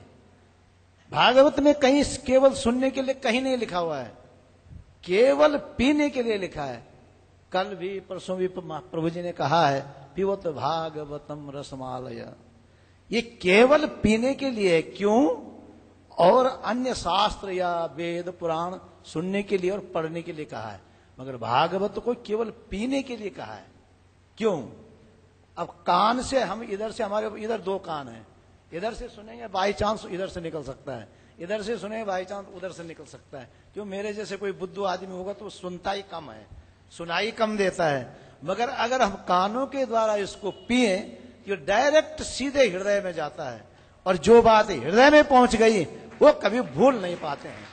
भूलेगा कोई? कभी नहीं। और इसका अर्थ यह है कि हमको उसके अनुसार, तदानुसार आचरण करना चाहिए। आचरण जब तक शुद्ध नहीं होगा, भागवत के अनुसार, शास्त्रों के अनुसार आचरण नहीं होगा, तब तक हमको उसका पूर्ण फल नहीं मिलेगा। क्योंकि इसको आचरण करने के लिए, भागवत को अपने हृदय में उतारने के लिए सबसे पहले नियम है, विधि है प्रभु जी ने पिछले पाँच दिनों से क्या क्या नहीं बताया। पर इसको अमल हम कैसे कर सकते हैं जब हम उसको पिए? इसलिए भागवत को पीना चाहिए, केवल पीना ही चाहिए। भागवत सारे वेद पुराणों का सार है। उसको पी करके अगर हम चलेंगे, उसमें अपने आप ही सब अपने आप चेंज हो जाता है। अपने आप उसमें परिवर्तन आने लगता है। और ये परिवर्तन आप देख रहे हैं। दूर जाने की ज़रूरत, ये सब इधर बैठे हुए हैं। ये इधर बैठे हुए हैं, प्रभु जी बैठे हुए हैं। ये सफ़ेद कपड़ों वाले जितने भी हैं, आप देख रहे हैं। आज से इन सब लोगों का दस साल, पंद्रह साल, बीस साल, पच्चीस साल, तीस साल पहले कैसे थे और आज कैसे हैं? ये कैसे हुआ? इन्होंने भागवत कथाएँ पी हैं, सुनी नहीं है, पी हैं। अगर हम इस प्रकार अगर चलते रहे, ये अवश्य है कि हमारे लिए भी शॉर्टकट वैसा ही होता रहेगा। जैसे श्री परीक्षित महाराज के लिए हुआ। और अब जो हमारा इधर जो कथा आज जो, इस सत्र में जो चली पिछले पाँच दिन से, वो केवल और केवल भगवत की कृपालुता का भ्रमण है। भगवान हमारे प्रभु कितने दयालु हैं, कितने कृपालु हैं, जीव के ऊपर उनकी कितनी कृपा है, वो दर्शाती है। भगवान इस संसार में अवतार लेते हैं या अंश अवतार लेते हैं, कैसे खुद आते हैं, कैसे, वो किस लिए आते हैं? जैसे प्रभु जी ने आप, आपने सुना है पिछले पाँच दिनों से सुन रहे हैं। भगवान किसी को मारने काटने के लिए नहीं आते हैं। अरे मारना काटना तो वहीं से बैठ बैठ के सिर्फ़ वहाँ से इशारा कर दें तो सब कुछ हो जाएगा। लक्ष्मण जी कहते हैं बिरकुटी विलास सृष्टि लय हुई। सिर्फ़ एक बिरकुटी हिलने मात्र से एक नहीं कई ब्रह्मांडों का नाश हो सकता है। तो यहाँ मारने काटने के लिए भगवान नहीं आते हैं। भगवान तो आते हैं केवल अपने भक्तों को सुख देने के लिए और भक्तों को भक्तों से सुख पाने के लिए। भगवान खुद कहते हैं ग्यारहवें स्कंद में भगवान उद्धव से कहते हैं। क्या कहते हैं? अनुग्रह भक्ता नाम मानुषम देहमाश्रित भजते तादृशी क्रीड़ा या सत्प्रत्युजयात। भगवान, मैं इस संसार में केवल भक्तों के साथ खेलने के लिए आता हूँ। आनंद लेने के लिए आता हूँ। वैकुंठ धाम में इतना आनंद नहीं मिलता। है वैकुंठ धाम तो वहाँ वहाँ भगवान भगवान होते हैं। और यहाँ इस संसार में, इस पृथ्वी में, खासकर भारतवर्ष में भारतवर्ष में इतनी पवित्र भूमि है, यहाँ भगवान केवल खेलने के लिए आते हैं, अपने भक्तों से आनंद लूटने के लिए आते हैं, क्योंकि उन्हें भी वो आनंद चाहिए, जैसे बालपन में माँ का पात्सल्य प्रेम चाहिए। आपने सुना होगा, देखो ना, कितनी कितनी मीठी सी बात है। भगवान श्री कृष्ण हंडे को तोड़ दिया, दही के, क्या बोले, मटका को फोड़ दिया, और वो दही सारे, पूरे फर्श में फैली हुई है। आप लोग उसे जानते नहीं हो, हमको पता है। दही जब मिलोई जाती है तो उसमें आधा मिलोई जाती है तो उसमें क्या होता है? नीचे दही जो गाढ़ा हो जाता है। और उसके ऊपर एक मक्खन जो, एक तराई जैसी बन जाती है, ऊपर। तरी तरी जैसे लग जाती है। और जब वो गिर जाए तो सारा फर्श जहाँ भी गिरा वो एकदम चिकना हो जाता है। तो मैं देख रहा था, भगवान कृष्ण उसमें चल रहे थे जो छुपने के लिए। तो मैं देख रहा था, भगवान कैसे चलने, ठुमक ठुमक, एक पाँव इधर, एक पाँव उधर, एक पाँव उधर, ठुमक ठुमक चल रहे थे। आपको दिखाऊँ कैसे चलते हैं? थोड़ी देर बाद में दिखाता हूँ। और अपने पाँव के निशान छोड़ रहे थे। आपने एहसास किया है? या भगवान तो मायापति अपने पाँव के निशान नहीं मिटा सकते थे। कोई ज़रूरी था अपने अपने पाँव के निशान रखें? ज़रूरी था? नहीं। अपने वो चाहते तो पाँव का एक निशान नहीं रहता। मगर उन्होंने अपने पाँव के सारे निशान रखे। और पाँव के निशान ही उसमें भगवान के पाँव के चरण चिन्ह भी उसमें है। क्यों? क्योंकि हमारे भक्त जब मेरे पास आए, कहीं भटक न जाए, सीधे डायरेक्ट आए। देख रहे हैं ना, देखो कन्हैया यहाँ से गया है। यहाँ से गया है कि नहीं है? फिर ढूँढने की ज़्यादा ज़रूरत ही नहीं है। हम सबके लिए भगवान अपने चरण चिन्ह छोड़ गए हैं। किस रूप में? भागवत के रूप में, गीता के रूप में, सारे के अगर मेरा भक्त कहीं भटक जाए तो ये रास्ता उसके लिए भगवान भगवान खुद कहते हैं कि मैं अपने भक्तों के लिए रास्ता छोड़ रहा हूँ, बताता हूँ बार बार कैसे जाना है, कैसे जाना है, क्या करना है, कहाँ जाना है, सबके सब अपने आप ही पता लग जाते हैं। आपको, आपका दिखाऊँ कि भगवान कैसे चल रहे थे? व्यास जी के पीछे देखो, सब आँखें ऊपर करो और देखो, क्या है? कैसे चल रहे हैं? मैं देख रहा था उधर से बैठ बैठ के, क्या भगवान ठुमक ठुमक ठुमक चल रहे हैं? और पीछे भी देख रहे हैं। क्या देख रहे हैं? कहीं मेरा भक्त कहीं पीछे, बहुत पिछड़ तो नहीं गया। बहुत पीछे तो नहीं रह गया। अगर बहुत पीछे रह गए तो थोड़ा रुक जाते हैं। थोड़ा सा देख रही है। माया कहीं देख रही, माया कहीं देख तो नहीं रही है। ये हम सब लोगों के लिए एक मिठास है। एक क्या बोलते हैं उसको? इतनी मिठास है, अगर हम इसको ध्यान से, मनो से, मन के उससे अगर हम देखें, इतनी बड़ी मिठास है। मैंने देखा है वहाँ पर बैठ करके। जब ये लीला प्रभु जी बता रहे थे ना, बहुत सारे लोगों के आँसू अश्रुपूरित हो रहे थे, आँखें। रो रहे थे लोग। क्यों? ये लीला इतनी हृदय स्पर्शी है, इतनी हृदय स्पर्शी है अगर उसको ध्यान से, अपने मन से अगर सोच करके बताए, या पढ़े, या सुने तो ऑटोमेटिक उसके हृदय में बात्सल्य भाव प्रकट हो जाता है। भगवान की दयालुता प्रकट हो जाती है। भगवान की कृपालता अपने आप प्रकट हो जाती है। और यही भगवान का प्रसाद है। यही भगवान का प्रसाद है। भागवत का प्रसाद है। और भागवत का फल है। एक महात्मा है हमारे हरिद्वार में, वो हमको बहुत मजाकिया ढंग से पूछते हैं, आओ भक्तराज, क्या हो रहा है? हम उनके पास बैठते हैं, वो बताते हैं, क्योंकि हमारे वो एक प्रकार के शिक्षा गुरु हैं। हमने उनको एक प्रश्न किया था एक दिन, प्रभु, हम लोग, मेरे को तकरीबन पच्चीस बाईस साल हो गए हैं, हम इस, ऐसे पता कैसे करें कि जो कुछ हम कर रहे हैं बिल्कुल ठीक ठाक हो रहा है?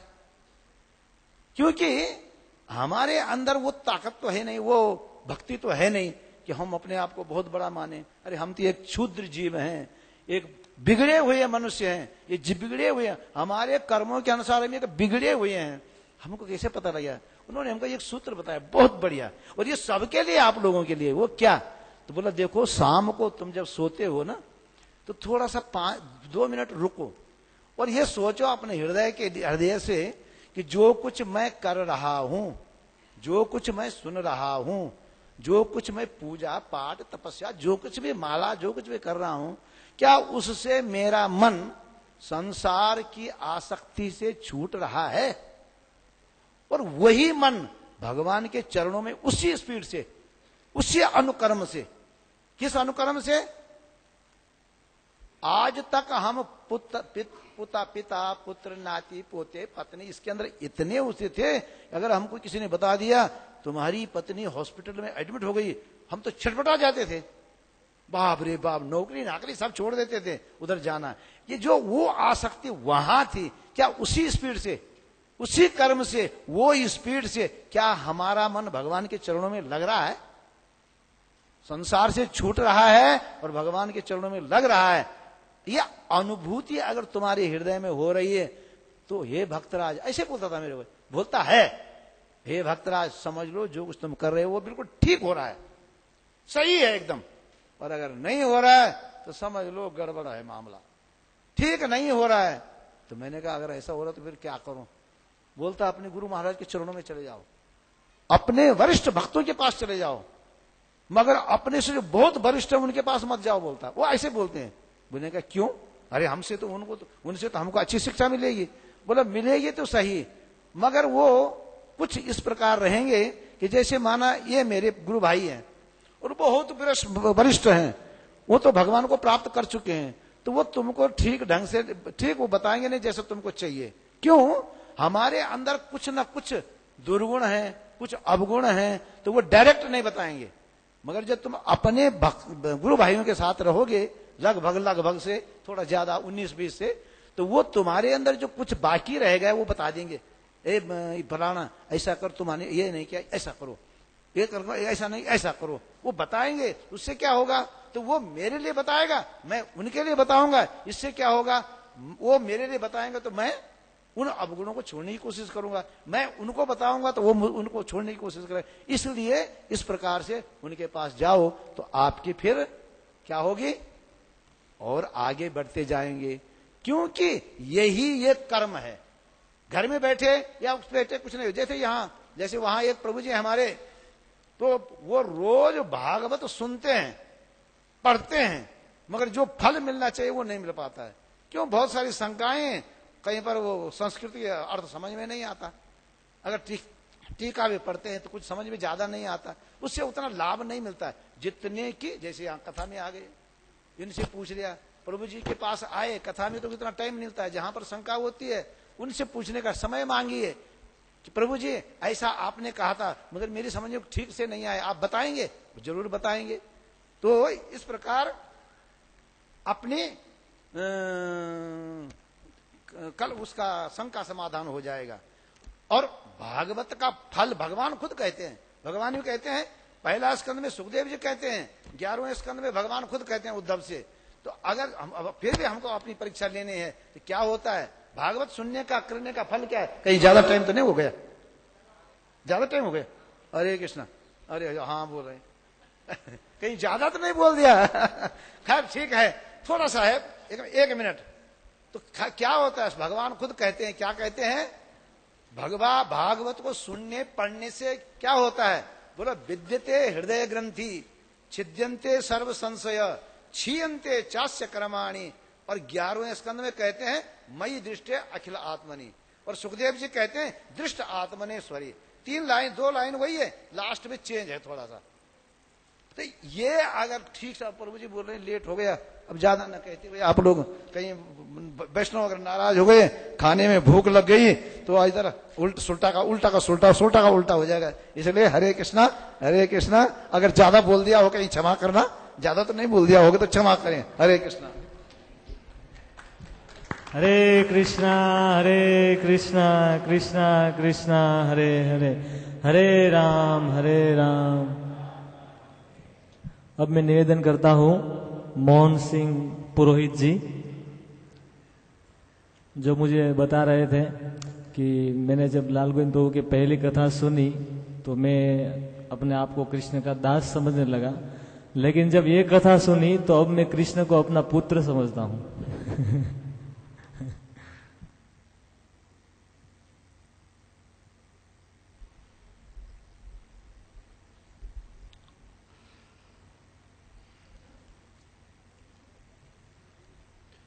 मंच पर विराजमान परम परम श्रद्धेय प्रातः स्मरणीय संत स्वरूप लाल गोविंद दास जी महाराज को मैं सादर प्रणाम अर्पित करता हूँ।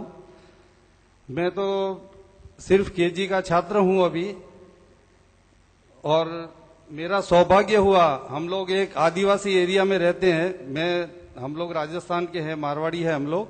आदिवासी एरिया में रहते हैं हम लोग। और मेरा सौभाग्य था और मैं मेरे जीवन के बारे में बता रहा हूँ। मुझे इस गीता के वगैरह इतना ज्ञान नहीं है, मैं मेरे जीवन के बारे में बताता हूँ। मैं बहुत ही, मैं पूरा एक पागल जैसा होने की स्थिति में था। चार, पाँच महीने, छह महीने पहले मेरी धर्मपत्नी का अवसान, वो उनका मृत्यु हो गई थी। उसके बाद में मैं बहुत रात रात मुझे नींद नहीं आती थी। उसके वियोग में मैं पागल जैसा मतलब ऐसा हो गया था। तीन तीन चार चार दस दस माइल ऐसे चल के जाता था, फिर शाम को ऐसा वापस लौट के आता था और जब थक थक जाता था तो मैं सो जाता था। तो उसमें मेरा सौभाग्य ये हुआ कि राजस्थान के एक गाँव के अंदर पाली के पास में एक कथा हुई। तो उसमें उन्होंने बताया कि ऐसा वो लोगों ने बताया कि इस्कॉन वाले आने वाले हैं।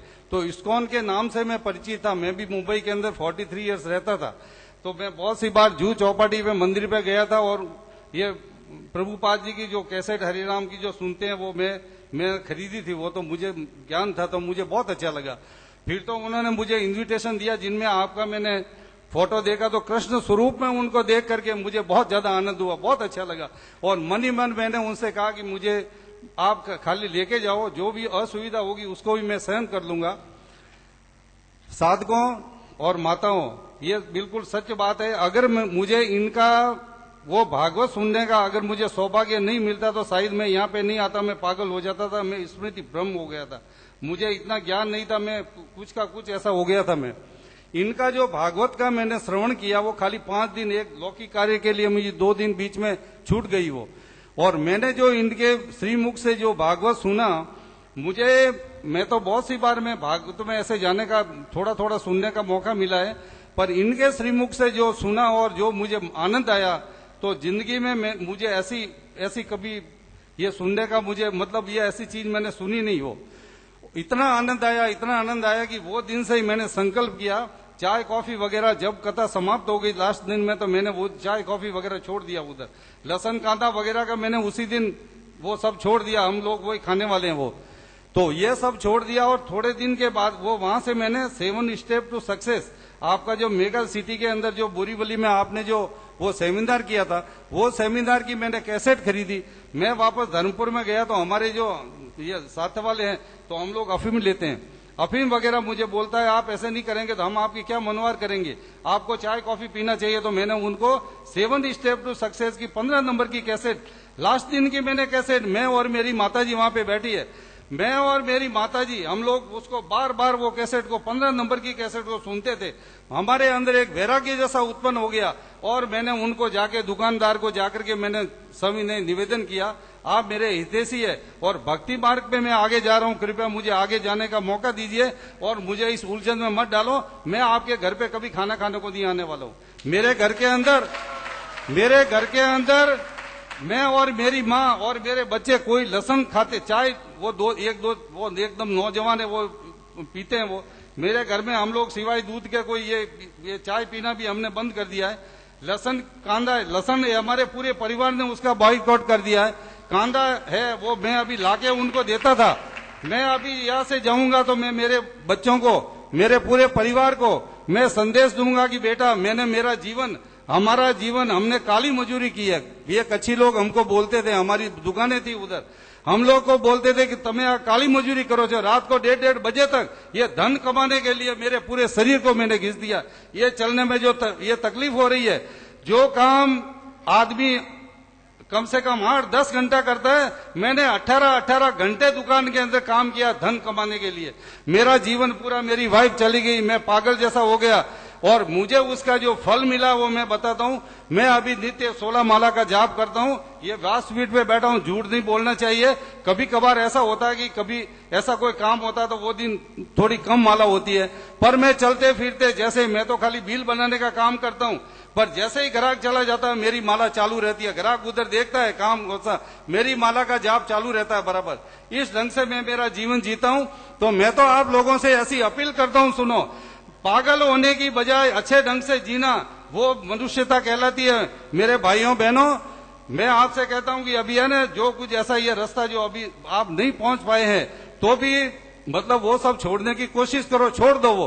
मैं आपके सामने देखो, मैं पूरा तंदुरुस्त हूँ ये पैर अभी थोड़ा खराब हो गया यहाँ से एकदम पूर्ण में, ये अच्छे ढंग से हूँ मैं।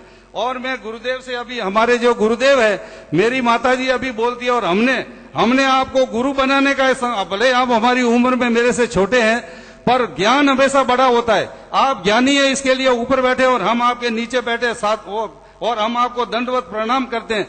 गुरुदेव, मेरी माँ की तो उम्र बहुत अब कम है। मेरी माँ आपको गुरु के रूप में स्वीकार करना चाहती है और मेरी ऐसी धारणा कि मैं आपके गुरु को मैं गुरु बनाऊँ और आपसे हमेशा मैं तो हमेशा शिक्षा ही लेता रहूँगा, सुनो।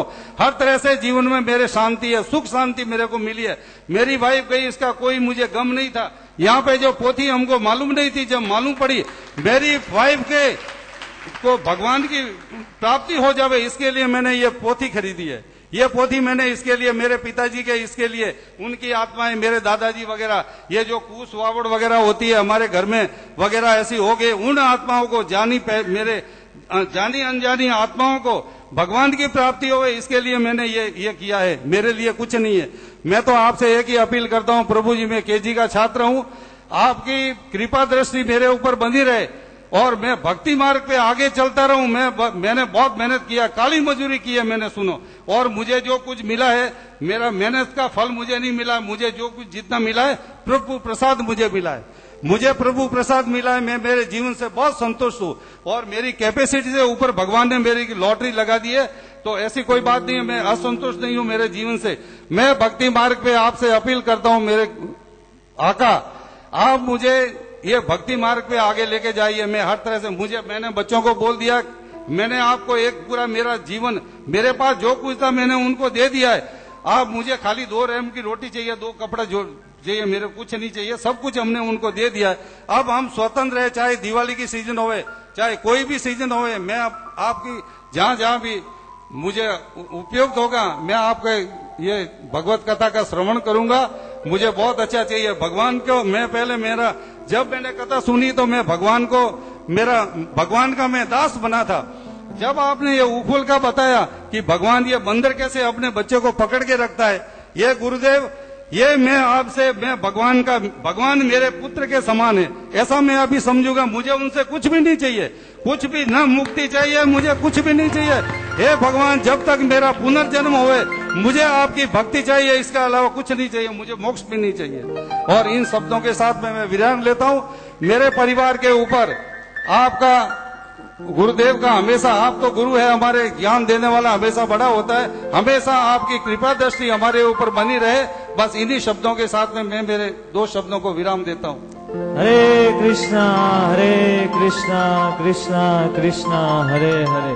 हरे राम हरे राम राम राम। इन तीनों वरिष्ठ भक्तों ने हमारे बीच में हमें अपना अनुमोदन सुनाया। तो आप लोग भी इस प्रकार से अपना अनुमोदन यहाँ पर कहकर सभी भक्तों को उत्साहित कर सकते हैं। तो जिनको भी अनुमोदन करने की इच्छा है तो वो मुझे आकर मिलेंगे और मुझे नाम लिखाएँगे। अभी कुछ अनाउंसमेंट है। आज का जो दोपहर का फिस्ट प्रसाद है, वो श्री वल्लभ भाई की ओर से है। वल्लभ भाई वल्लभ भाई तो कृपया स्टेज पर आइए और प्रभु जी के हाथों से फूल माला प्रसाद ग्रहण करें। आइए एक बार ज़ोर से महामंत्र। हरे कृष्णा हरे कृष्णा कृष्णा कृष्णा, हरे हरे। हरे राम हरे राम राम राम, हरे हरे।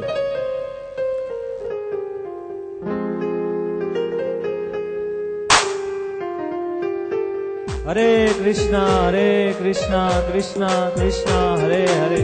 हरे राम हरे राम राम राम, हरे। और भी अरे बोल एक वल्लभ भाई, जहाँ पर भी भागवत कथा होती है तो प्रसाद डिपार्टमेंट में प्रसाद बनाने में बहुत सुंदर सहयोग देते हैं। अपना तन मन तो दे ही चुके हैं। आज उन्होंने प्रसाद बनाने के साथ साथ प्रसाद स्पॉन्सर भी किया है। अतः इनके लिए हृदय से एक बार आभार व्यक्त करेंगे। हरे हरे कृष्णा हरे कृष्णा कृष्णा कृष्णा, हरे हरे। हरे राम हरे राम।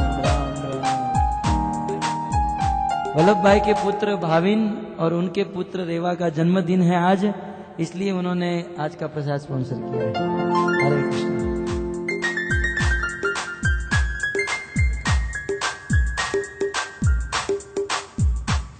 इनके साथ साथ और भी अन्य भक्तों का सहयोग रहा है तो मैं जिनका नाम बोल रहा हूँ,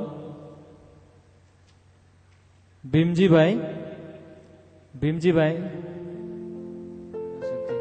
और श्याम सुंदर प्रभु वर्षाबेन मोणपरा कैलाश बेन, नावड़िया, इन सभी भक्तों को निवेदन है कि क्रमशः यहाँ पर पधारे। श्याम सुंदर प्रभु वर्षाबेन मोणपरा कैलाश बेन, नावड़िया, जहीं भी है, कृपया यहाँ पर जल्दी से जल्दी स्टेज पर आए। श्याम सुंदर प्रभु वर्षाबेन मोणपरा कैलाश बेन नावड़िया आइए इनके लिए एक बार महामंत्र। हरे कृष्णा हरे कृष्णा कृष्णा कृष्णा, हरे हरे हरे हरे राम। वर्षाबेन मोणपरा नहीं है, पर उनकी ओर से कोई है? कैलाश बेन नावड़िया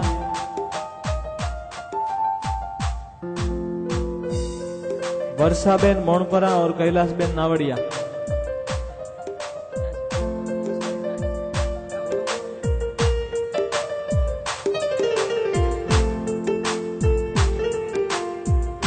और और भी अनेक भक्तों का सहयोग है, उनमें से विशेष मैं नाम बोल रहा हूँ। एन के मित्तल जी, एन के मित्तल जी जहाँ भी है, कृपया स्टेज पर आइए।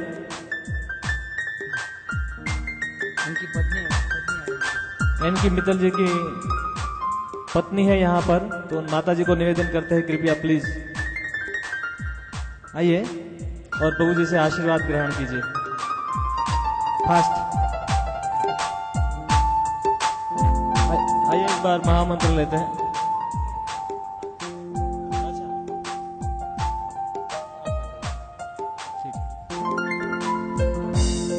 एक बार ज़ोर से महामंत्र। हरे कृष्णा हरे कृष्णा कृष्णा कृष्णा हरे हरे हरे राम हरे राम।